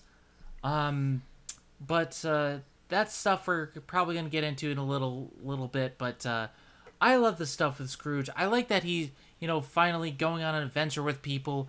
He actually starts to get into it, especially fighting a skeleton robot pirate, or parrot pirate, I should say. Um, not Zombie robot. I don't know where I got robot. Yeah. Yeah, a resurrected zombie skeleton pirate. um, it, it's it's a really fun episode.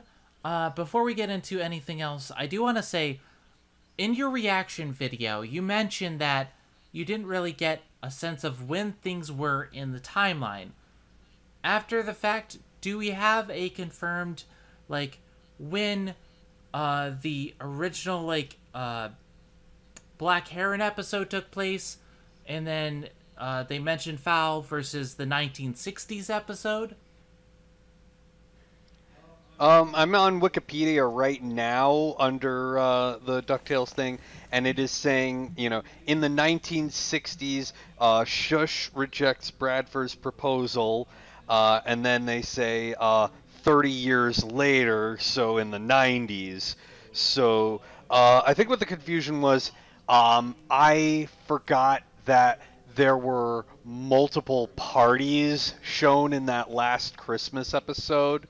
Um, so yeah, I mean, ultimately, it's clear that uh, this takes place before uh, in, in, the you know shush part. It takes place before the events of uh, confidential case files of uh, Agent Twenty Two. Oh, um, okay, okay. Well, yeah, obviously, since they then, called uh, Beakley, uh, you know, Agent Twenty Two. So Mhm. it was like that party we saw took place while Shush was still in action, but af- Mhm. I believe after uh, Bradford was hired by Scrooge. I believe. And then yeah, so yeah, the the 30 year jump, uh, I believe we're taking place, you know, after that party, but before uh, Dewey's um, part in the uh, you know last Christmas where he uh, meets Della and Donald. So I yeah, will- I- I, I will say that it was not as clear as it could have been, but yeah, that's out there now. Also, we get mention of Hortense, uh, Donald, excuse me, uh, Scrooge's, uh, one of Scrooge's sisters, who is the parent of uh, Della and Donald. Yeah, that that is true, and uh, I know you had mentioned that. Well, we since we have Hortense, like what's what's gonna happen?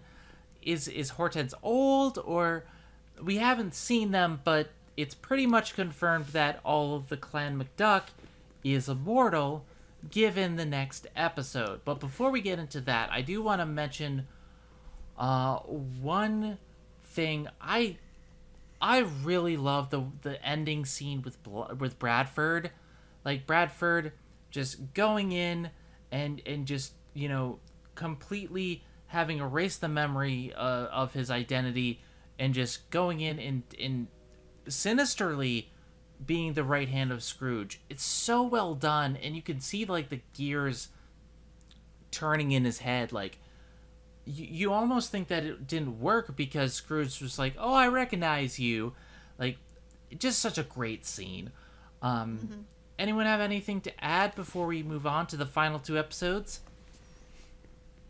Um, just that Black Heron's great, and I want to be her as a villain one day. uh, Bradford's I mean, just a is- fun villain. I, I, I will say though, it is episodes like this that make me realize, you know, made made uh, definitely hinted that the show was going to be ending, because I remember this happening with like uh, Teen Titans, where you know in the last season they have this whole arc, very very similar to what's going on with uh, Hush, uh, or with uh, Fowl, um, but yeah, then they like stop somewhere in the middle to do a uh, origin episode and then you know we pick up with the rest so it's like uh, obviously this this is where I'm starting to really get the feeling that the the show was going to be ending Mm. It Actually- is a very good. It's very good, like way to end it on. And if they don't pull the Terra episode type thing, then we'll be fine. Because I love the please final don't. season. I love the final season of Teen Titans, but not that episode. Nah, they won't do Um, that. All right, they, let's briefly just. sorry, real quick. Um, yeah, I know they definitely won't do that. The writers are too good to do something like that. Um, what was it? Uh, there, w- there is a comment though someone left on our video. It's actually a prediction they have in regards to the title of this episode. Um, they're, pre- uh, Claude Coringas predicts um, the series finale of DuckTales 2017 will be a three-parter, aka 66-minute special, and it'll be titled The Last Adventure. mm. I think that actually sounds like a good idea and something that could possibly happen.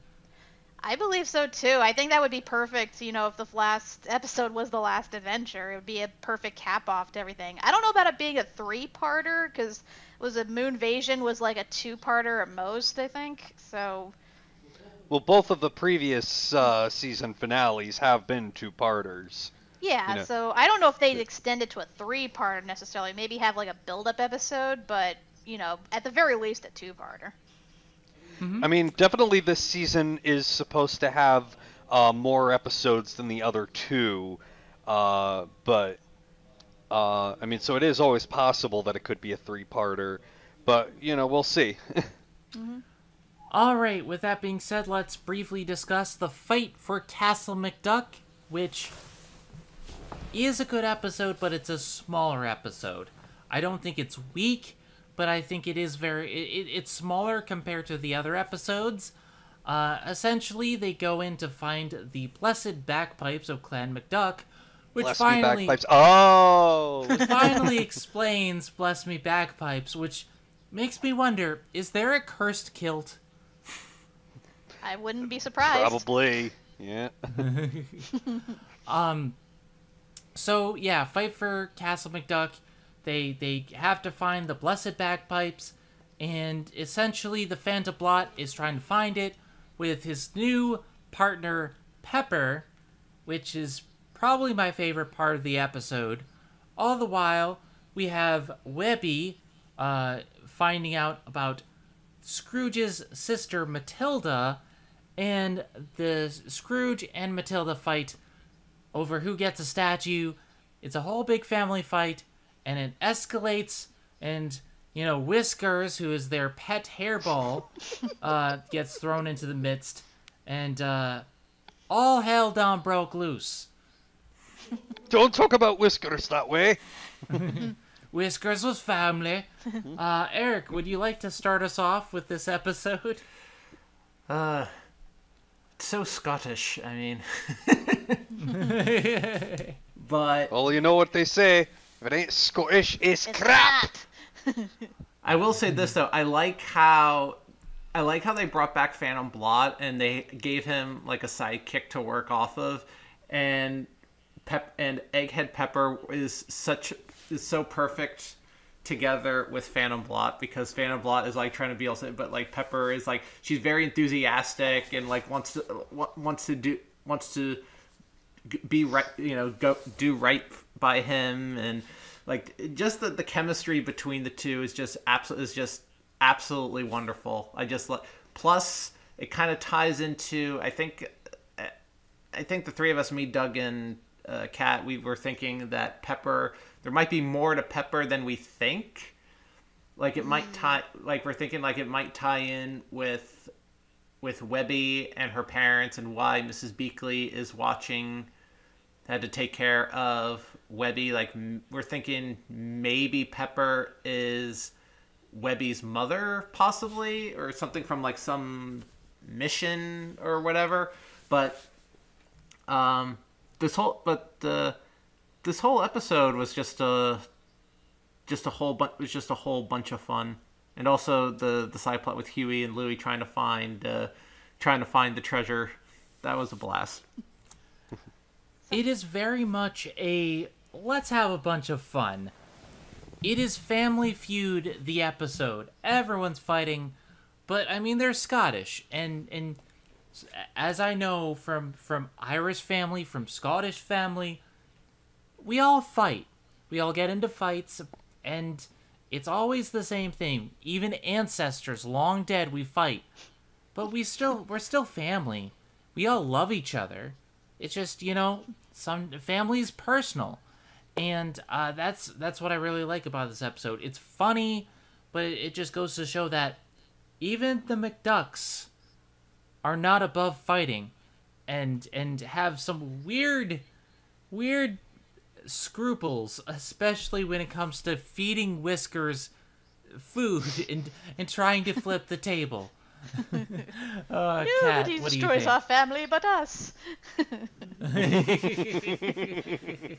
the, the, I totally buy it. Like I, I've been saying since since like the first season that it is a disease with this family that you know they are always at each other's throats. That they're so goddamn stubborn. They're always throwing themselves into danger, and this episode just proved that. But I mean, it's important, especially in regards to Webby, because you know, she wants so badly to be part of a family, to have friends and everything, but she has to accept too that, you know, families fight and it doesn't have to be the end of the world if they do, as long as, you know, they're able to work through their problems and, you know, come to an understanding. Like that I felt was, you know, the important thing in this episode. As, like aside from the whole thing basically being a big spectacle of, you know, a whole bunch of Scots just yelling at each other. And uh, I definitely love I definitely love Matilda and how she kept like pushing Scrooge's buttons and like she acts so superior even though she has no right to be because she's basically like a loungeabout who's like trying to start her own business but doesn't quite have the business mind for it. And also she's played by Missy and I love that. Michelle Gomez, So you're a na- treasure. I love you. So now we have the doctor, we have Donna, and we have the mistress all in one show. Uh, and they're time travelers. Space is warped and they're immortal. they're they're all immortal. Like it's it's beautiful. I love it. um ah god, I, I I do like this episode. I love how it coalesces into this wonderful chaos. And and you know, they they work together and they use this emu to, to save the day. It's it's it's wonderful chaos. It's not an Um, emu. It's an investment. Get that filthy animal out of my house. it's not an animal, it's an investment. It's family. Whiskers was family.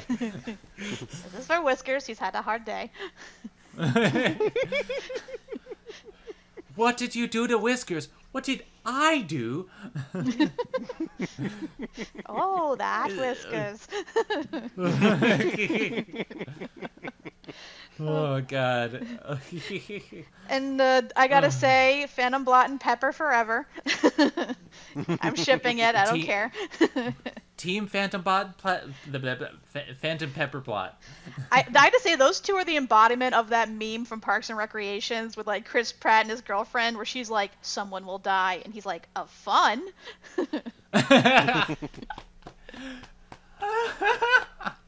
that is very Also, true. both of them were on The Mandalorian.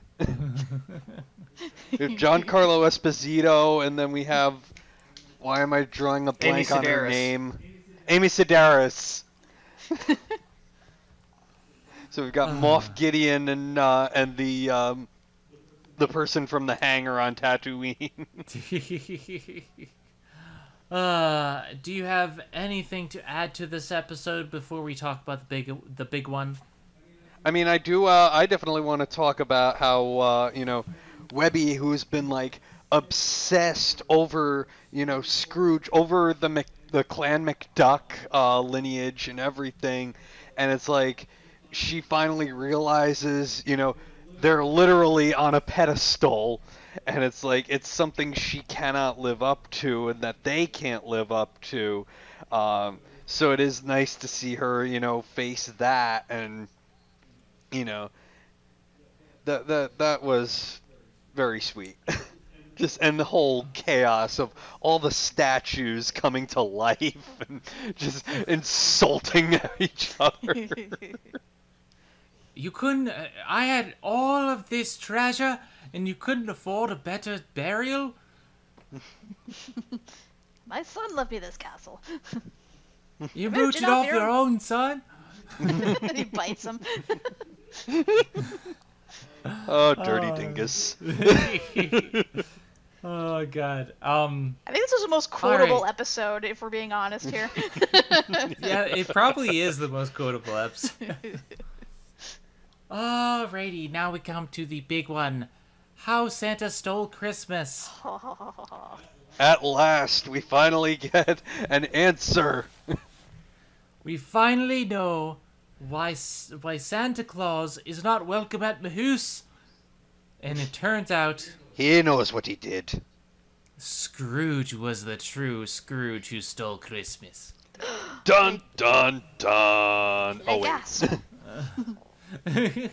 Although it's not I that honestly- surprising. It's not that surprising, but honestly, this is my favorite episode out of the season, and I think Let's Get Dangerous is better, but this really warmed my heart. it's it's a oh. very cliche kind of story with you know kind of how the Grinch stole Christmas, but when using Scrooge in this context where we've we've grown up and we've seen Scrooge, we know Scrooge, and we've seen all that he's gotten better about. Obviously, we just saw the first adventure where he was a little bit stingy but willing to help people. And then we see this, and it shows that, yeah, he's still not the best of persons, but because Santa believes in him, he becomes better. Um, there's so many layers to this episode uh, that I just love. And Santa Claus lies. well, I mean, I'm just saying his whole job is is you know done in secrecy, so you know he has to lie to a degree. Plus, you know, and then not, not to put a damper on this episode or Christmas in general, but Santa himself is technically a lie. so, plus, you know, we had to get this episode to happen somehow. Like, how the hell else was he gonna get Scrooge to like do the deliveries with him? Yeah. Um I just like the idea of this episode. The entire reason why they stopped being friends was that Santa wanted to do things out of the goodness of his heart and to to promote goodness and warmth to people because that's something that people need at this time of year. And as someone who's dealt with a lot of hardships, especially in the previous year, sometimes kindness, sometimes kindness can warm even the coldest of days. And I think that's a message that this episode really pushes. And seeing Scrooge doesn't get it at first, but seeing firsthand how kindness can help and change and it really warmed my heart As, like every time santa made his speech i was just like wow and this is an episode that you could probably pick apart a couple things but it just it hits me so close to home on, on every single level especially because i believe in the message that Santa in this episode says. It's not about getting something for your, for your gift. It, it, the whole meaning of Christmas is doing something kind for someone and not expecting anything in return. It's no grifts, no gimmicks. That's what Christmas is. And seeing Scrooge try to get people to buy coal from him on Christmas. There was an invoice in those damn packages. It, you know, he didn't get it, but he he changed. And obviously not everyone in this world is capable of such change. We've seen such things in this world that some people just want money and nothing else. But I believe in the philosophy that we should spread kindness to other people. Kat, uh, I'm sorry for the heaviness. Uh, what what do you say? no, I totally agree with you with all that. Like, don't get me wrong. Like, I, I've become rather jaded when it comes to Christmas over the years, but I do agree with everything you said of what it should be, what it represents, and how important that is to people, even above you know material goods and stuff like I was kind of sympathizing with Scrooge for a good part of it cuz you know at the time coal was an essential thing for some people. You need to be able to warm your houses and unfortunately toys isn't exactly going to do that. But as we saw, that's not always the case. So, yeah, I just but dear god, Scrooge, like I get what he was trying to do, but the fact that he did that with everyone around the world just gave him a freaking lump of coal with an invoice in the year 2020. Just oh my god. Like was it uh someone in the comments was it uh yeah, uh Climmer 3021 mentioned that uh, this whole episode feels like a commentary telling Americans that the coal industry is dead. that that's pretty much what it felt like to me because it's like, what the fuck are they gonna do with coal? Most people's houses are run by gas or electricity. You just gave them a useless clump of thing that's gonna give them black lung or something. just Jesus Also, Christ. I just have to say, that is four kids level evil. Oh my god, is that fucking evil? like, thank God that they fixed it before people woke up on Christmas, because otherwise, I, I don't think I'd be able to look at Scrooge the same way again. um, Doug, do you have anything to add to that?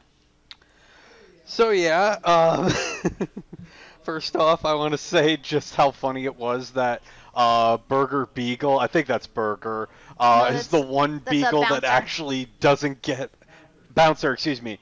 Uh, that he's the only Beagle that actually gets a gift, and that everybody else gets, you know, coal, or you know, the bad coal.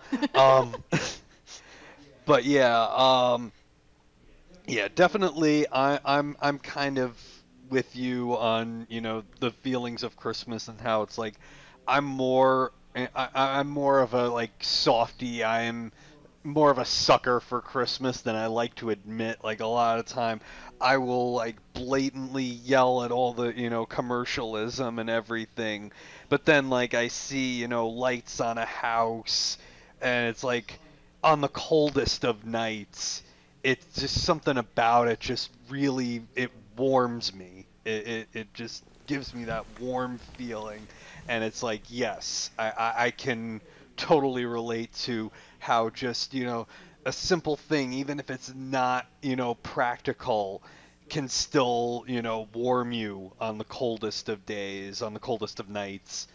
And yeah uh, it absolutely does nail that on the head. Especially because when when it comes right down to it, there have been some days this year where I had to say to myself, do I want to pay rent? Or do I want to do something fun today and not worry about what's going on? And some days you just have to go out and have a fun day, eat some good food.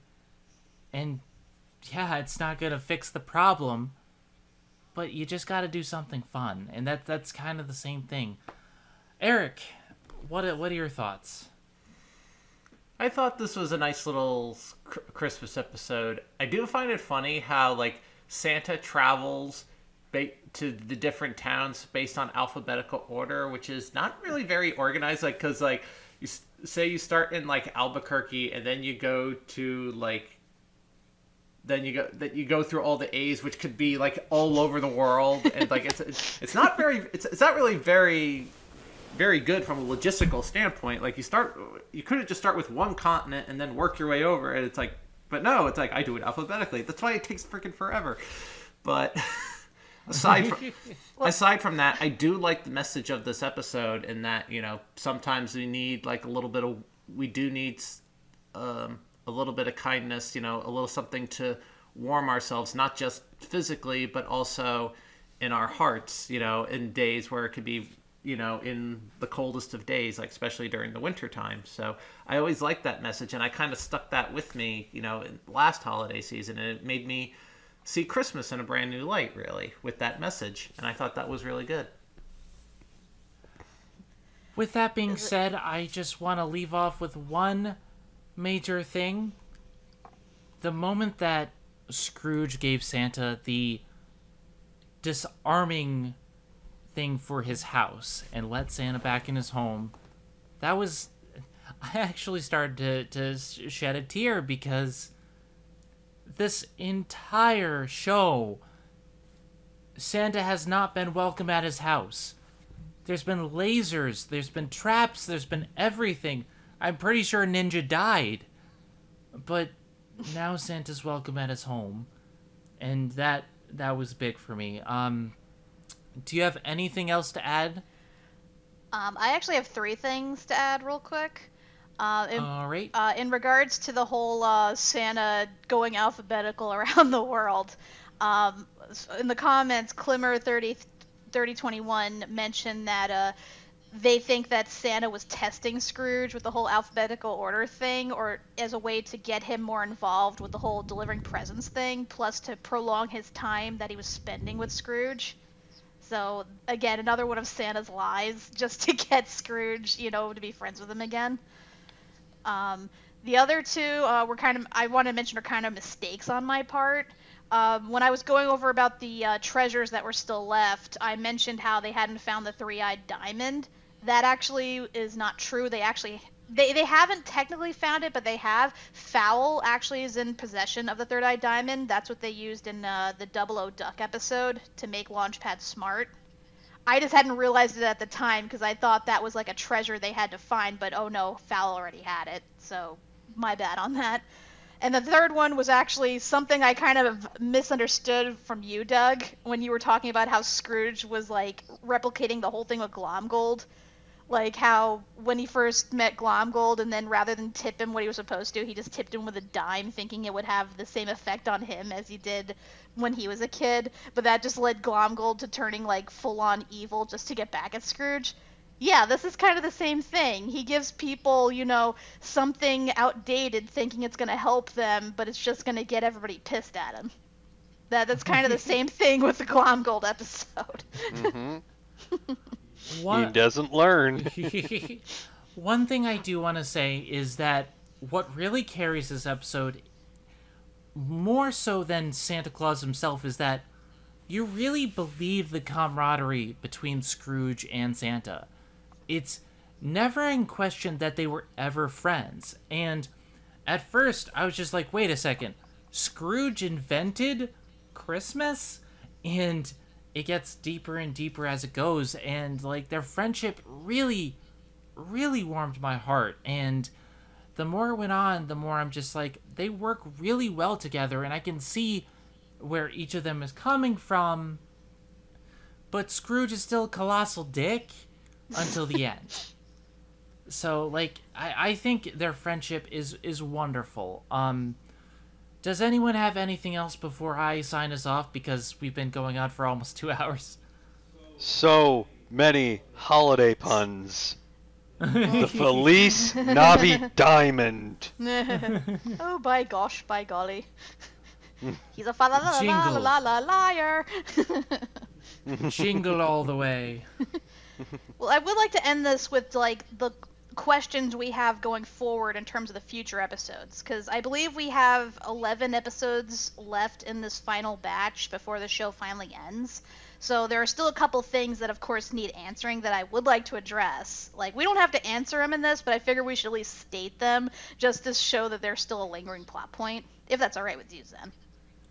That is perfectly all right. Take it away, Kat. Okay. Um, forgive me. There's quite a bunch here, but I'll try to power through them. Um, feel free to jump in with a few answers. Just don't linger on them. So here's my list of unanswered questions in DuckTales and what will happen in the future remaining episodes. One, will we see Phantom Blot without his mask? Because I'm really curious as to what he looks like under there, because we've never, even in continuity, seen him without his mask. Two, could Phantom Blot possibly join the good guys in the future? I personally think he could, given the hints we've seen in the, his biosympathetic backstory. Um, three, will Magica show up again before the show ends? And will she face off against Phantom Blot one last time? And hopefully this time he gets his revenge. Uh, four, will the other villains team up to take down Glomgold? Because we know they ha- all have a vendetta against him, given he lost a lot of their fortunes, especially Magica. Uh, five, will we ever find out about Launchpad's side adventures slash girlfriends? Because that has been We need another cousin to to before that happens. God, 'cause- Because it happened, it, it happened when uh, we, we we were introduced to Gladstone. It happened when we were introduced to Fethry. So it has to be a cousin-centric episode for that to happen. we'll see. Um, six. What is Rockerduck's ultimate goal? Again, I don't buy that it's just money. There's got to be something else. Otherwise, he's literally one of the worst villains in DuckTales to this point. Uh, seven. Will Negaduck show up again in DuckTales or be regulated to the Darkwing Duck series? I personally think he's going to show up in Darkwing Duck. I don't think he's gonna show up again in Ducktales, but you know I've been surprised before, so I'm not counting my chickens quite yet. Um, eight. When will we get to see the TaleSpin characters, and will Don Carnage make one last appearance? Because we know that the TaleSpin characters are supposed to show up. We saw them in the posters, so it's all a matter of time. It has to happen in this last batch of uh, episodes, and yeah, of course, Don Carnage is gonna show up. Yes. Come on. yep. The the real question is will they allow him to sing finally? They better. no. but he can take his revenge on Dewey Duck. All right. Uh, number nine. Will the Rescue Rangers return? I get that they're under copyright, but they could make a cameo. Please return. Thanks for the rescue. uh, ten. What happened in Mrs. Beakley's past to make her so overprotective of Webby? You know it's got to be something big, and it's got to be something foul related. Like the hints have just been proving that so far. Um, I suspect foul play. Boo! Mm, Boo! Shush. Boo! anyway, Boot to the head. uh, 11. What is the significance of the missing mysteries and what does Fallon need them all for? Because we know that they need all of the mysteries. We don't know why, and we don't know what happens when they come together. So that's the big question of what Fowl's plan is. Uh, 12. Did Isabella Finch know about the significance of the mysteries, and how did Fowl know about the mysteries in her book? Because I know Isabella Finch lived a while ago, probably before the events of Fowl and Shush, but something tells me she must have known something about it, which is why she was trying to find them, and maybe Fowl found out about it. Again, there's a lot to unpack here. I'm sure we'll get a back background episode explaining that. Uh, 13. Will we see the Duke of making a mess again? I hope so. I need to see Huey just going nuts. Uh. Zen wedgies for everybody. 14. What does Fowl need with Scrooge's feather? Are they planning to clone him and possibly the rest of his family? I know we discussed that already, but I'm thinking that's a good possibility. Uh, 15. Will we see Daisy again? And what is will, is her future with Donald? You know, I, I don't think they're going to get married. That would be nice, and, you know, finally. But I hope that she shows up again because I like Daisy and I love their I love the couple. They're awesome. uh, 16. What happened between the first adventure and following Della's disappearance that made Mrs. Beakley step down as director of Shush and become Scrooge's maid? Again, tying into her whole backstory and all that. Um, 17. Is Shush still around, or were they, or are they hiding like Fowl? Because we haven't really heard from Hmm. Shush aside from the background episodes. And, you know, again, seeing how Mrs. Beakley doesn't, you know, isn't a Shush agent anymore, I'm wondering what happened to them if they're, like, actually gone. Or if we had, like, a shield situation with, uh, you know, Hydra infiltration and all that. they have been pretty silent, all things considered. hmm Hush, hush, if you will. Shush, shush. Uh, 18. Who will be the rightful heir to Scrooge that finds the papyrus? I believe it's going to be one of two things. It's going to be either all three of the boys or possibly Webby. Those are my best guess. Because you know it's got to be, you know, one of those four. Or if not all of them. Um, 19. If Donald and Della's parents are immortal, where are they? Because, you know, they eventually move with Scrooge, so you know, and we never see it from them. And Donald raised the triplets on his own, so like, where's his parents been? Like, what the hell? um, ten is the magic that conceals the mansion gone permanently? Because Blot never returned the magic to the mansion, so as far as we know, the mansion's there to stay. Um, Hmm. Castle McDuck specifically is what we mean. yes. Sorry, I Yeah, no, I should have elaborated. just want to make sure we're not getting that, you know, confused with. I know uh, it's. I know it's technically mansion. a castle. I keep thinking like it's a mansion. yeah. Shit, what number was I on? Is that 20?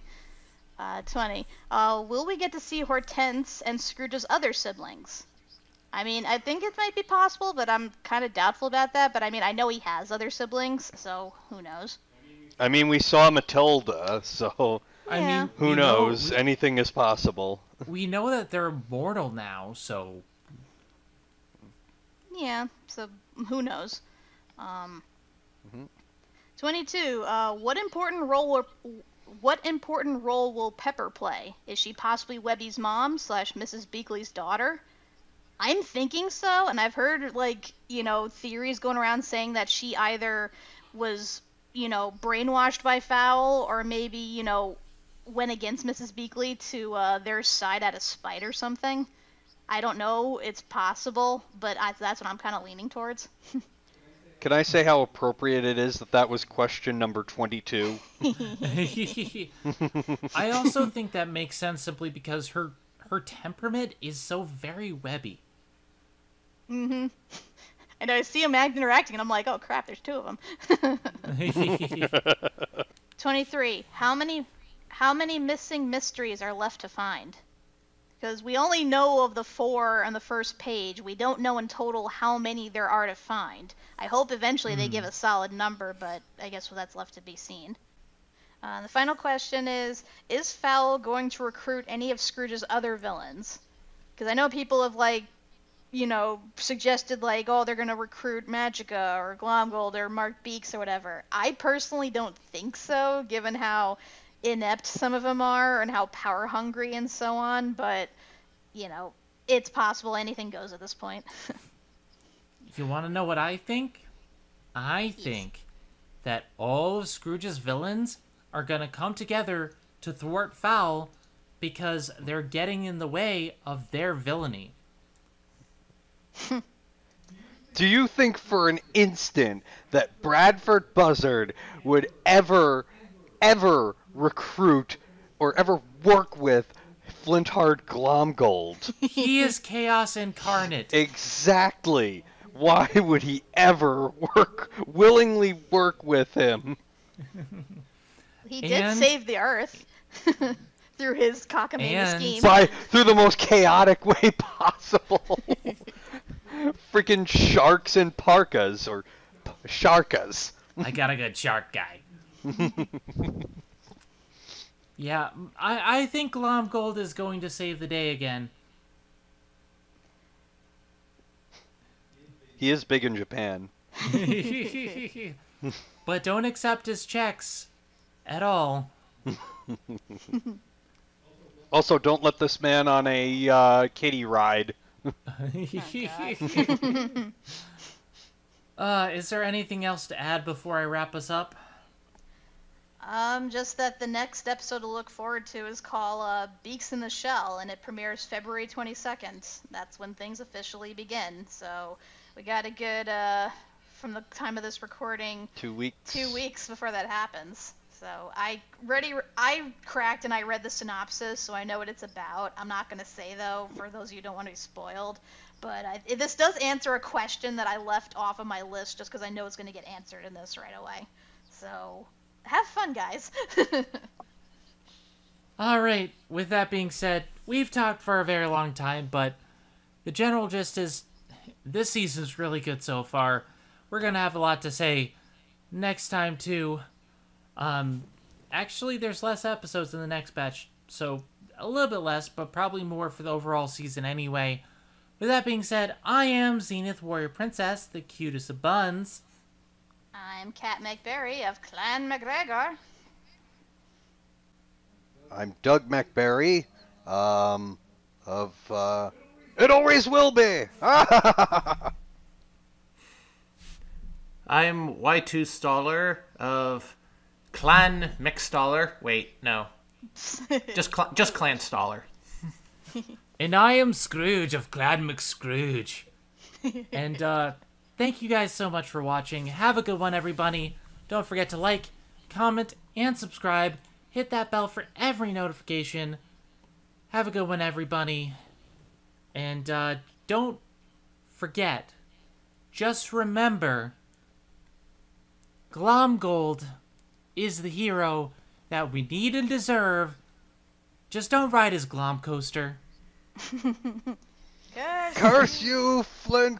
Why it me, Why it me, wheel that. Curse you, me, Ferris, me. It's me. Have a good one, everybody.